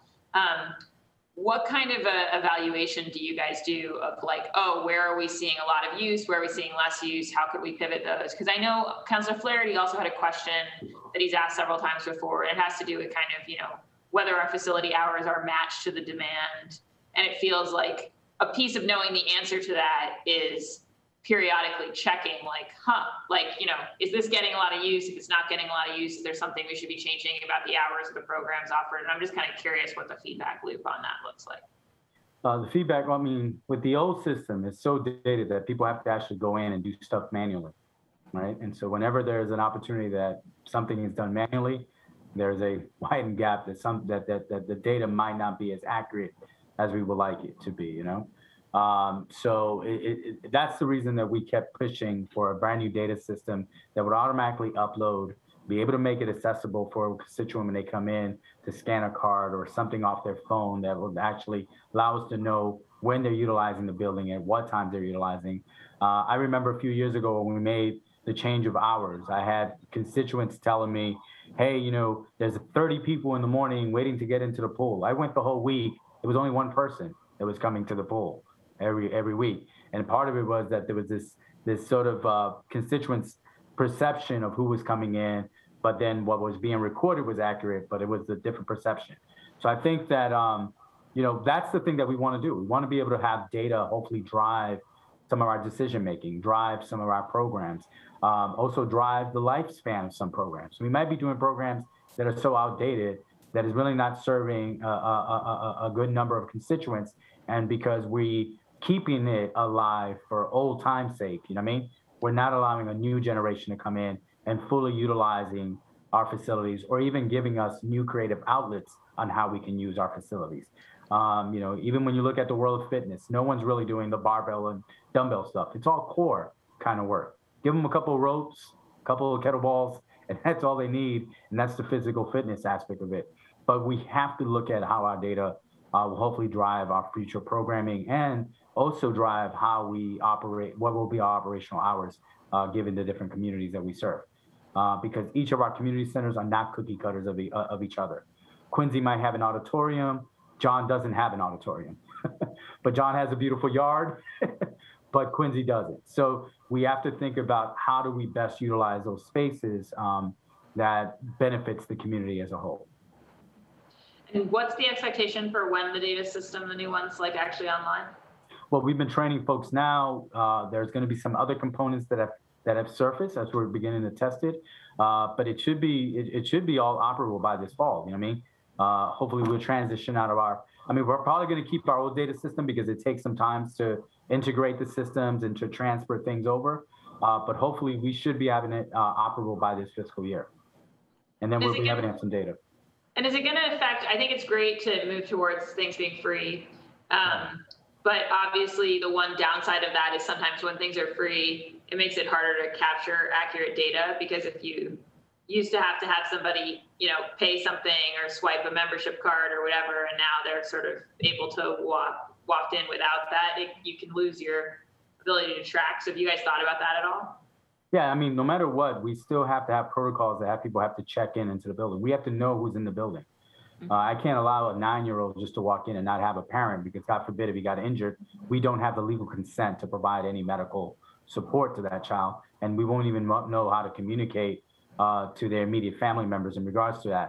So I think in that aspect is great. I think that, you know, membership is going to be free, but there might be some special instructional, special education, whatever, they might have a smaller fee that's associated with it. Because sometimes what happens is, as you much aware, John has a council here that provides programming. So if John's council has agreed to pay for a Zumba instructor, they may be looking for a fee to offset the cost of the Zumba instructor, but still provide that need to the community. So we still will be able, there'll still be sort of a monetary collection of fees. It just doesn't go to the city. It goes actually to the council, but then we'll be able to track individuals in the registration process so that we can know uh, that, that that program uh, has X number of members, right? We can know in that program that the average age of that member is X, you know what I mean? And then we can then look at how do we formulate a better communication strategy to those populations that special that, that want that specialized kind of programming. Great. And then um, you mentioned for federal funding, you know, that because we're definitely, you know, I think all over the city right now, we're thinking about what can we use this money on that will really pay long-term dividends that doesn't set us up for a cliff effect with personnel or whatever. And and you guys mentioned sort of new technology like tablets, laptops, STEAM stuff, robotics. Yeah. Um, and then funding for tutors, which I think is a sort of personnel thing, but it's a surge, right? That we know we're going to need to do for learning loss. Yeah, yeah. Um, can you talk a little bit more about that category of stuff? Is that stuff that you've obviously there's going to be a kind of um, a whole interdepartmental conversation, but is that stuff you've started to express? Um, and then in terms of like combating learning loss and providing students with kind of support and stuff, it, ha- is BCYF doing anything yet? Like, you know, are we thinking about setting up spaces for this purpose in our centers? Like, are we doing anything to kind of pivot towards that, providing that support specifically? Yeah, and, and that's what we were thinking. I mean, you just said it um, pretty good. Uh, when we were thinking about tutors and so forth, we know that during the pandemic, there's been an incredible amount of loss. Uh, we we know in in in our conversations with families and also in conversations with school leadership, you know what I mean? They saw that some kids have, have experienced a loss. We just want to be another support aspect of it, you know I mean? More locally based uh, for for those families who might be looking for that support and get their kids back in an academic track. You know, uh, like I mentioned, I have three kids that are currently now in the Boston public school system. One is struggling academically because the remote wasn't her way of of, of learning. Was her was her best approach. She needed the in person. She needed the the the that kind of attention. Um, so we're looking at what that federal funding might be looked at, but at the same time, I know that the Health and Human Services uh, under Chief Martinez is also looking at how we're also using that money to make sure that it is around a COVID recovery kind of aspect as well. So it could probably be redefined as we continue to work work, through it, um, and and and hopefully create an outline to make sure that when those dollars are used, are are providing opportunities for for some real deep impact recovery aspect work that we anticipate that that would happen. So when they asked us what we would do with the money, we threw the pie in the sky with tutoring, with technology, uh, with et cetera, because of the simple fact that those are the things that we experienced that if we had them in place earlier, we might be able to, we might, we might have had a deeper impact. Um, and we still need to hopefully develop further the, the infrastructure for technology because we know that we can also do more. Great, thanks. And um, uh, two more questions from me. One is just, can you tell us a little bit more about the racial equity and leadership process, sort of what the goals for that are and what that is? What, within our department? This, it's the, this is racial equity and leadership sort of described briefly in the budget book. I'm trying to look at it. I know that we are working with the, uh, the administration around racial equity uh, issues, just looking within our own department. We know that when we did the strategic plan, we looked at it through an equitable lens as well. Um, Yeah, it was in as a goal in the budget book. Okay. Where it was. So I just wasn't sure what, yeah, what that sort of meant. Do you know what I mean? okay. Let me get back to you a little bit more on that. Sure. Uh, because I think that we are actually working with the city's uh, racial equity uh, office um, and looking at the sort of the first wave of trainings that are going to be happening and looking then at ourselves what that work is going to be defined for, for BCYF. So it's definitely going to be sort of a, a, a work in progress because we know that we have um, some equity gaps that we need to hopefully close, uh, not only racially, but also staffing equities across some of our, our sites. Uh, but I'll get back to you in regards to that. Okay, great, great, awesome. And then my last, my last set of questions is just about SOAR. Um, Yep. and I was really, I was grateful for the breakdown of the um, Training and Development Institute that you guys la- are launching, launched last month. It sounds great. Um, and I think, you know, things where we can actually, you know, pay our folks to get, get that training and get those Yep. like skills and certifications. That sounds great. Um, obviously would love to know on that sort of what the is there like is there a partnership with OWD like how are you thinking about is there a way that we can like you know if our folks get the serve safe certification or this customer service experience or first aid CPR like how are we linking them up with jobs that might need those things Yeah. Um, that's, uh, it's like I said, one of the things that we want to do is make sure that those can, those particular individuals that actually participate in that program are connected to some meaningful jobs, jobs that they, they themselves identify that they need. Uh, so I think that we are working, you know, with workforce development. We are working uh, with other individuals. We also work with the Office of uh, Returning Citizens too, as well, that have other pockets of uh, work opportunities. And then um, to make sure that they are linked to something that becomes the first stepping stone to what we hope will be a career ladder for those individuals. Because a lot of them always ask for work, but one of the things is that we have to prepare them for what the world of work is going to mean uh, for them. And so we are continuing to broaden that aspect of it, um, of, that work within the SOAR program. Uh, Talia would have actually joined us, but she's actually at one of those trainings today, helping to be a part of that process. Um, and she can continue to further elaborate more on it um, even more. So I can get you even more details um, in regards to that program from her herself directly. Yeah, no, that'd be great. I'm very interested in that work by SOAR. And then also, I just wanted to hear a little bit from you about, because obviously last year's budget did include significant new hires for SOAR. Yeah. Um, and I've had the pleasure of meeting some of them. Seemed great. I just would love to hear from your perspective. Obviously, it was then a very strange year, Yeah. um, but kind of like, you know, how, in what ways have, has, did that additional sort of building of the team achieve the new capacity we wanted? Where did it not? I know one thing I tried to do early on was connect them with, I know you, I asked a question, I, I know you guys don't have a housing side of the program, but I tried to connect them up with the D and D work that's going on on informal youth homelessness and stuff, since it Yeah. seems connected. But just would love to hear a little bit, you know, I think as a council, we're always, we're always, you know, being asked to fund new initiatives and we Mhm. tend to talk about them in the moment of voting on the funding, but I think it's just as incumbent upon us to ask the question a year in, so how's that going? Right? Yeah. Well, I think a year in, you know, one of the things at least has happened is that uh, we definitely have uh, built up sort of the infrastructure of the program a little bit, but it's very different that we've never housed resource brokers before, uh, strategic resource brokers, meaning that uh, these are individuals that are looking at making deep connections and relationships with uh, organizations that can support our clientele as they want to move through a healthy continuum. So I know that we've have beefed up that aspect of it.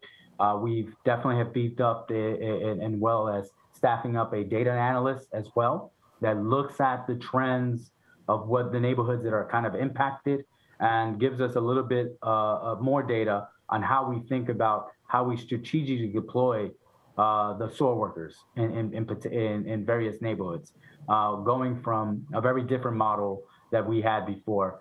I I think Talia, uh, uh, has, Talia Rivera has done an incredible job of kind of building up the leadership team, looking at also strengthening her team's capacity on how they approach and engage the work very differently.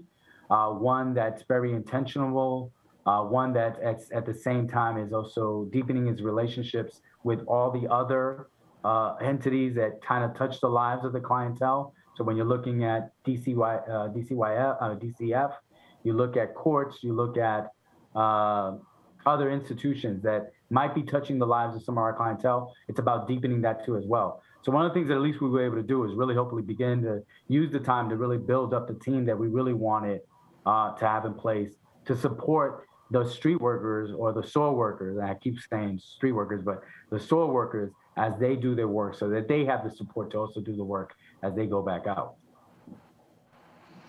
Great. No, I, I appreciate that and definitely want to continue to follow kind of how the program's doing as it, as it evolves and builds on that base. So, Yep. um, so consider me an interested party on that front. Okay, no problem. They're, they're in the basement of the Tobin, so it's technically my district, right? Yeah. Um, uh, although I think, I think the Wi-Fi connectivity isn't great down there. Um, We've been improving them. okay, good. Yeah. Um, all right, so I'm gonna, um, go to, uh, public testimony. Um, and then, and that'll be, that'll be the conclusion of the hearing unless councilors have second round questions. So if councilors can just shoot me a note if you do, or raise your blue hand, that'd be great. Um, so I'll go first to Michael Kozu and then to Louisa Harris. So, um, Michael coming in and then, and then I have an Anthony Meeks who I think is not testifying, but, um, please be in touch with staff if, if you do want to speak. Um, Michael? Thank you, uh, Chair, uh, Madam Chair, uh, Commissioner, uh, and uh, City Councilors. Uh, Hopefully you can hear me. Um, I'm here to really push again harder for uh, a Grove Hall Youth Center, expanded community center. The community center facility in Grove Hall is just one room now. So when you do, uh, there's been fundamental flaws in the planning and data collection uh, in terms of, uh, basically reinforces the racial disparities that Grove young people face. So let's let's be clear about as we follow through on this that Grove Youth Center is needed in a much densely populated neighborhood. In the time I've been in Grove Hall, there's been six federal indictments. What we're doing is without having direct youth programming, not expanded youth center, that you're reinforcing the cradle to uh, a prison pipeline for young people in terms of their options. So let's. Uh, we also can look at we utilized the Burke Gym in the past. We've utilized the Frederick Gym in the past but both of those gyms have fundamental flaws with their ventilation.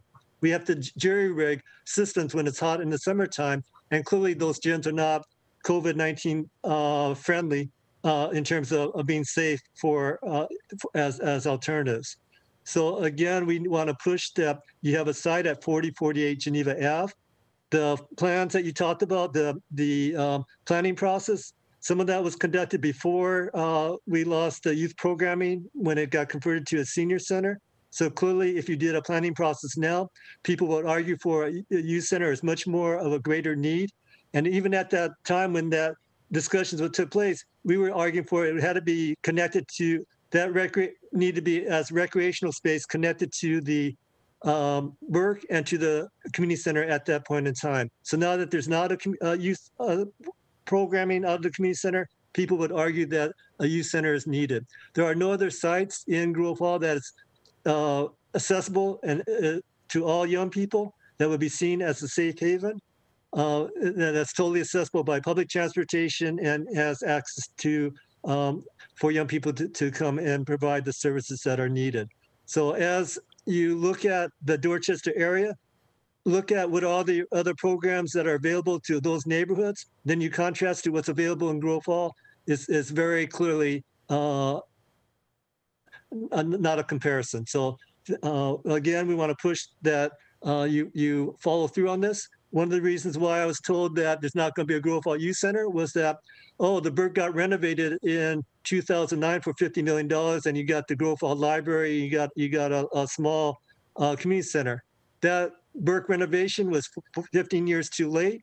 It should have been done in 1994. In 1994, when the Burke lost accreditation, it only got $4 million. And the city provided $25 million at the same time to Latin, Latin Academy, East Boston, and Hyde Park High Schools for renovation. So Grove Hall has always been shortcut. If you if you are serious that racism a public emergency, you need to readdress the substantial disparities that's going on in terms of Grove Hall young people and the long overdue uh, process of getting equitable resources and opportunities. Thank you very much. Thank you so much, Michael. Uh, Louisa Harris. Hello, everyone. Thank you for um, this time to be able to participate in this discussion. Um, mm, thank you for the um, attention that you always put on certain facilities. Um, it is uh, interesting how other facilities are completely um, not um, taken care of, not even considered. Um, Mr. Morales, you said that you um, used to be um, using the Hennigan uh, facility. I- I'm wondering if you have any idea how many uh, kids, even just in the Bromley and um, uh, the other uh, part um, of this uh, Jamaica Plain area, how many kids are in the area and how many seniors? Would you have an idea by any chance? I don't know if I can ask questions. Lisa, sorry, yeah, no, we just do, we, I got you. I'm, Okay. I'm happy to follow up with questions about what the BCYF data is on that. but we Got don't- you. we just It's more like, I think it's a rhetorical question because I've been using the, I'm a Mission Hill, back of the hill um, uh, resident. And in the past at least 15 years that I've used the pool pretty consistently, um, there probably have been at most four kids in a swimming um, program in the afternoon, in the after school. I don't know uh, the school during school time, but in the afternoon there are probably about four kids that do swimming, and um, hardly any seniors.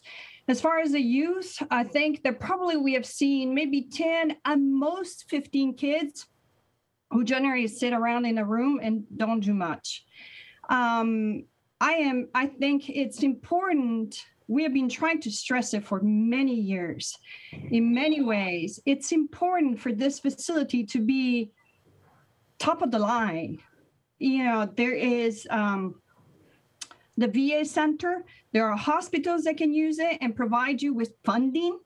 Um, the facility is in terrible condition. There has been major problems with security even witnessed by um, a journalist that came by to take a look at the facility and reported it. While he was there, someone just entered the facility and walked out. Could have snatched a kid with no problem. So we have been asking to really think about this facility because it's amazing the facility. It can be used for many things. It can be used for workshop for kids. It can be used for art classes. It can be used for theater. It can be used for um, senior programs like i don't know um, tai chi. It can be used for yoga. It can be used for so many things um, that the kids themselves too can can uh, participate. It's not just for senior I know um, Councillor Bok mentioned that in Mission Hill, or at least on her district, there's not really a, a public facility for seniors. I think if I'm phrasing it correctly, but that this one can be an exceptional facility for seniors. There are plenty of people around here, and uh, at least my part of the the Mission Hill, the back of the hill, has been growing with families. And you see them walking around back and forth. Thanks to uh, Councillor O'Malley and the work that we've done together, we, we were able to redo the stairs that go from Hayden Street to Heath Street. And you see people using it. So what we're trying to tell you, there, there is need. We want to use that facility. I'm not sure why, you know, I'm not sure why certain projects are pr- uh, prioritized and how. I just noticed at Curtis Hall, they're doing something in the front yard when our facility doesn't even have clean showers. So I, I'm, I'm just wondering. So thank you for your attention. I am looking forward to see great things happening for the Hennigan. Great. Thank you so much, Lisa. Um, and we do have one more public testifier. Mr. Anthony Meeks has joined us. Um, and then I, I will go to um, Councillor Edwards, who's joined us as well, and Councillor Flaherty. Um, uh, Mr. Meeks, you have the floor. Hey, Thank you. Thank you, madam. Good morning, residents of Boston, Madam Mayor, and the city council members. Thank you for the, uh, uh, allowing me the opportunity to speak on this most vitally important matter, the building of the new youth and family center for the Grove Hall area. I am so honored. My name, as it was stated, is Anthony Meeks. I am a child of the Dorchester, Massachusetts area. I am speaking as a resident uh, at this current time. Um, I would love to validate um, my presence here, but it would take such a long time. And I do, I feel that there are others, even some of the city council members who are present in the chambers that could help me in that area. But I just would like to move forward. Um, today, uh, today, uh, today I speak as a resident who had wonderful experiences in the former Grove Hall Youth and Family Community Center. And it also prior was called the Bubble. These places of life used to exist in the vicinity in the vicinity of Normandy Street and Geneva Ave. One of the most important part of servitude to the people is access to a place. Some were to uh, somewhere to engage the community and engage the people. I place youth and families, uh, a place where youth and families and the people, uh, people can grow and develop in positive, transformative ways.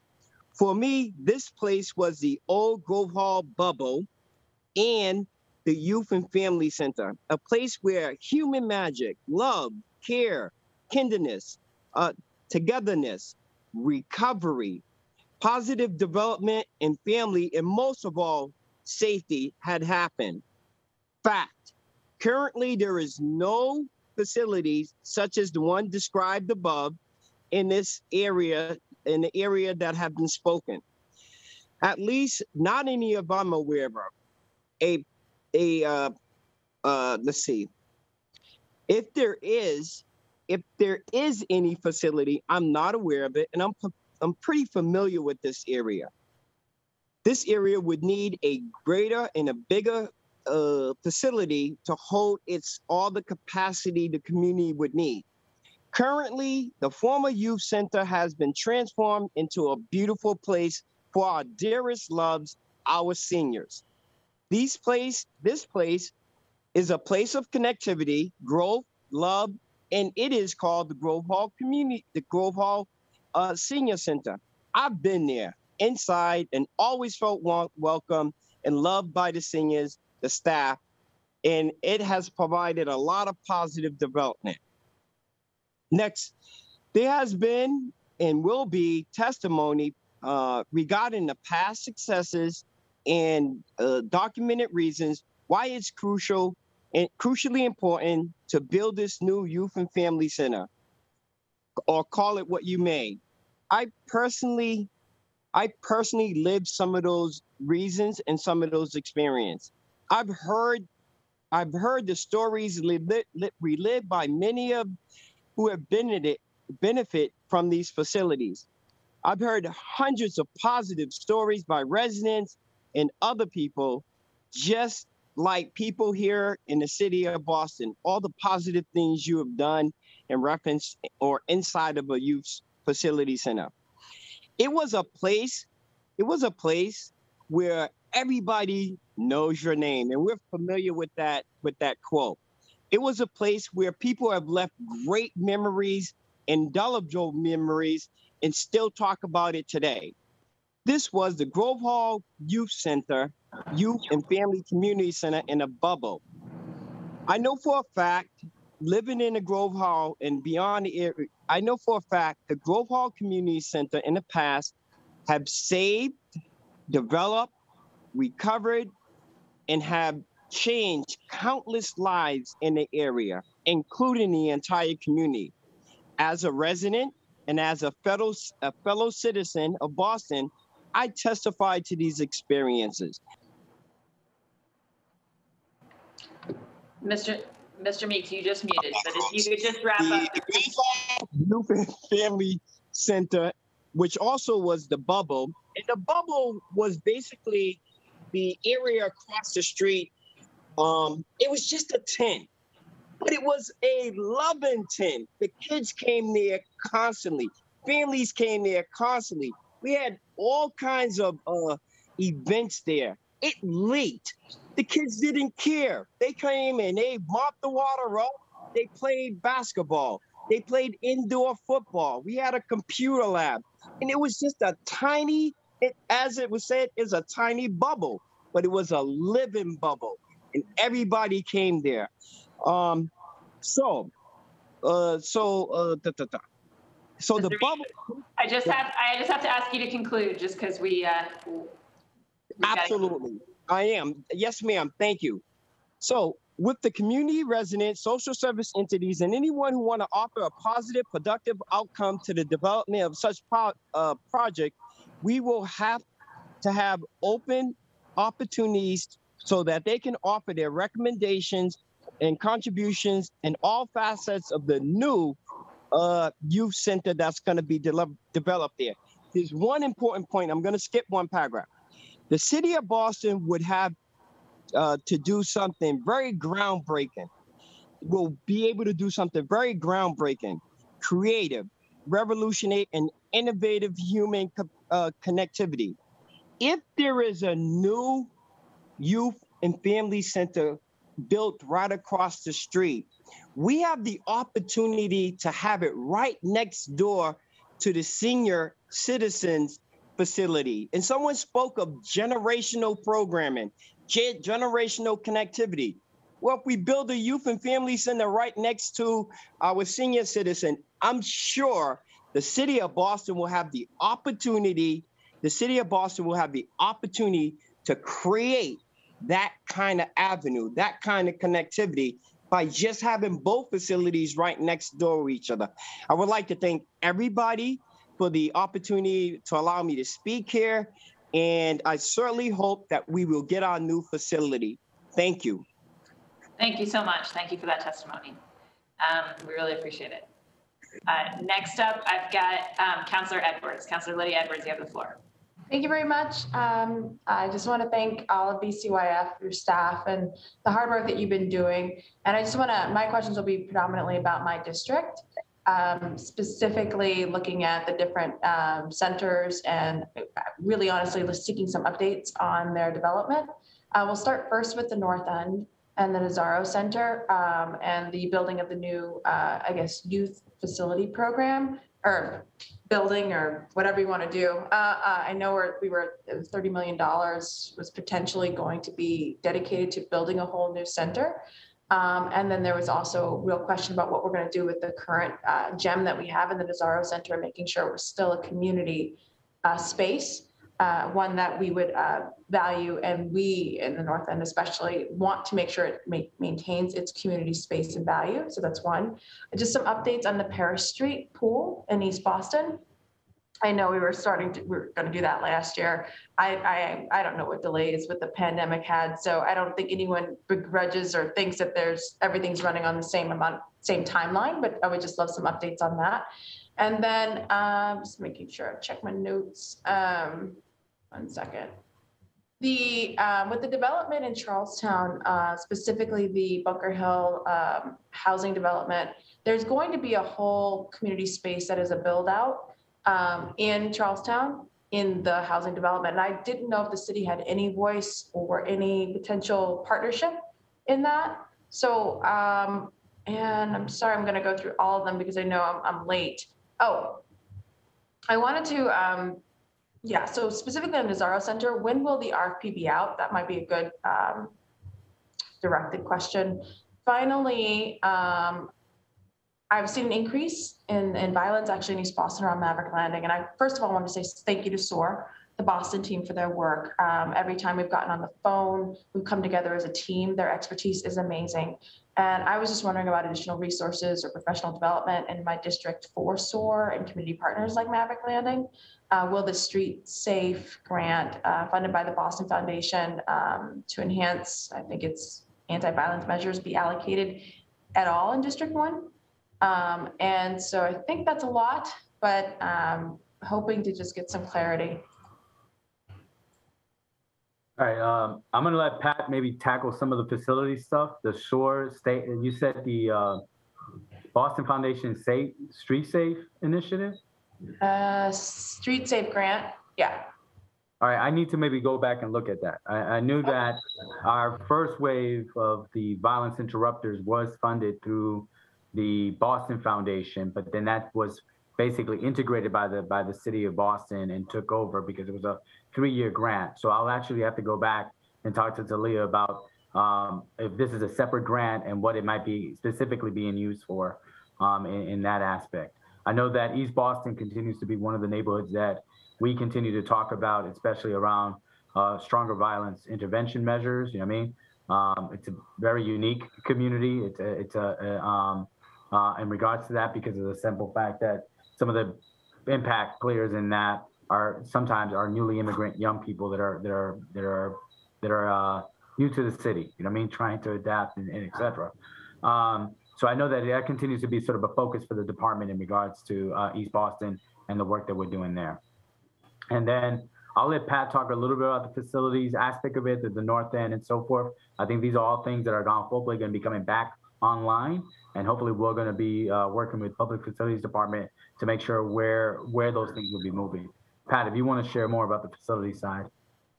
No problem at all. Thank you, uh, and, uh, Commissioner and Councilor Edwards. Thank you. Um, in the north end, we, uh, the request for proposals have not been done yet. Um, however, we do have money in the FY twenty-two budget to start the process uh, for the, for the new building of the community center, which is the location is going to be where the current uh, BCYF Mirabella Pool is uh, located down on Commercial Street. The Parks Department just finished a $14 million project with the Puopolo Park, which looks fantastic. So I think we're going to sort of add on to that. And then um, there has been no final decision made about the Nazzaro. I know there is a big push to keep the Nazzaro Community Center building uh, by all ages, but especially the seniors. Yeah. And uh, they run a nice program. I know them all very well, and several of them have my phone number and my cell number, so they call me when everything they need down in the north, uh, north end, so directly. Uh, so they're wonderful to deal with. So on the north end, we are definitely the money's in the budget. It is definitely uh, uh, there's money in the FY22 though to start that RFP process, and we're working with PFD. We've already had discussions with them about that in the north end. In East Boston, um, I'm sorry, go ahead. I'm sorry, you have any questions about the north Yeah. end? Sorry. Yeah, yeah. And- and In terms of the RFP process, you know, I think that would be one of the better, uh, one of the better opportunities we have to build community. And so, uh, you know, that the community went and engaged with the Boston um, School of Architecture and had graduate students come over and did a whole community kind of process design of a community space, not expecting, obviously, for you guys to take that as full on absolute, this is the design done by, you know, your professional folks for your, you know, absolute. But, but I would love to know that that is looked at and might possibly inform your RFP. Or, and that before, and, and when the, actually not, bef- not before, but while the RFP is out, that there's a, a- maybe a community check-in to talk about that. Uh, because I mean, if the RFP is dedicated toward a community space, that's really important for me. If the RFP isn't, then, then I really am concerned about the city's commitment. Nope, absolutely. And uh, during the study, we had three community meetings, and I believe we I planned remember. at least at least two or three more for the design project. I do know about the Art Institute also. Um, the design people did get that during the study, and actually we incorporated some of their ideas into some of the proposals that we did. So they were definitely looped in, and we'll continue to loop them in. I just I know that it's a matter of getting a, a uh, project manager assigned, and then we'll probably start the design project uh, process in FY22, which is RFPs as part of the design process. But there'll definitely be community input during that process. And um, I think you were going to go to the uh, pool and- yeah. Uh, yes, Paris Street Pool. Uh, that project's been actually underway since last fall. So we're, they- we're, we're in the construction over there and, uh, and we're moving along. And I believe that the construction, that's an $8 million project of the Paris Street Pool following the $13.1 million project across the street at the Paris Street Community Center. So, uh, which is completed and opened up and been serving food and, and other things uh, daily. But the capital project at the pool should be finished. We're hoping by the end of the year and uh, to get that reopened up for, uh, for, for the year 2022, during FY 2022. And, Okay. I believe Charlestown, I know you mentioned something about the Bunker Hill Housing Development. I know that the city had input in that. I believe that the BHA may have made a decision. I'm not 100% sure. We can check to maybe go with a local nonprofit because they do have, we do have the community center right across the ball fields on the other side of Charlestown High in the athletic building. Uh, we are also doing the study in Charlestown, though, to build a standalone new community center. So that's, it. we've already had a community, uh, we've actually had one community, I believe your office was represented. We had one community meeting on that, virtual, and more coming, and uh, to pick a location and to build hopefully a new community center in the coming years in Charlestown also. Would that be incorporating uh, the golden age and our youth as well? Are you looking to get rid of the golden age? Nope, absolutely not. And actually, the golden age.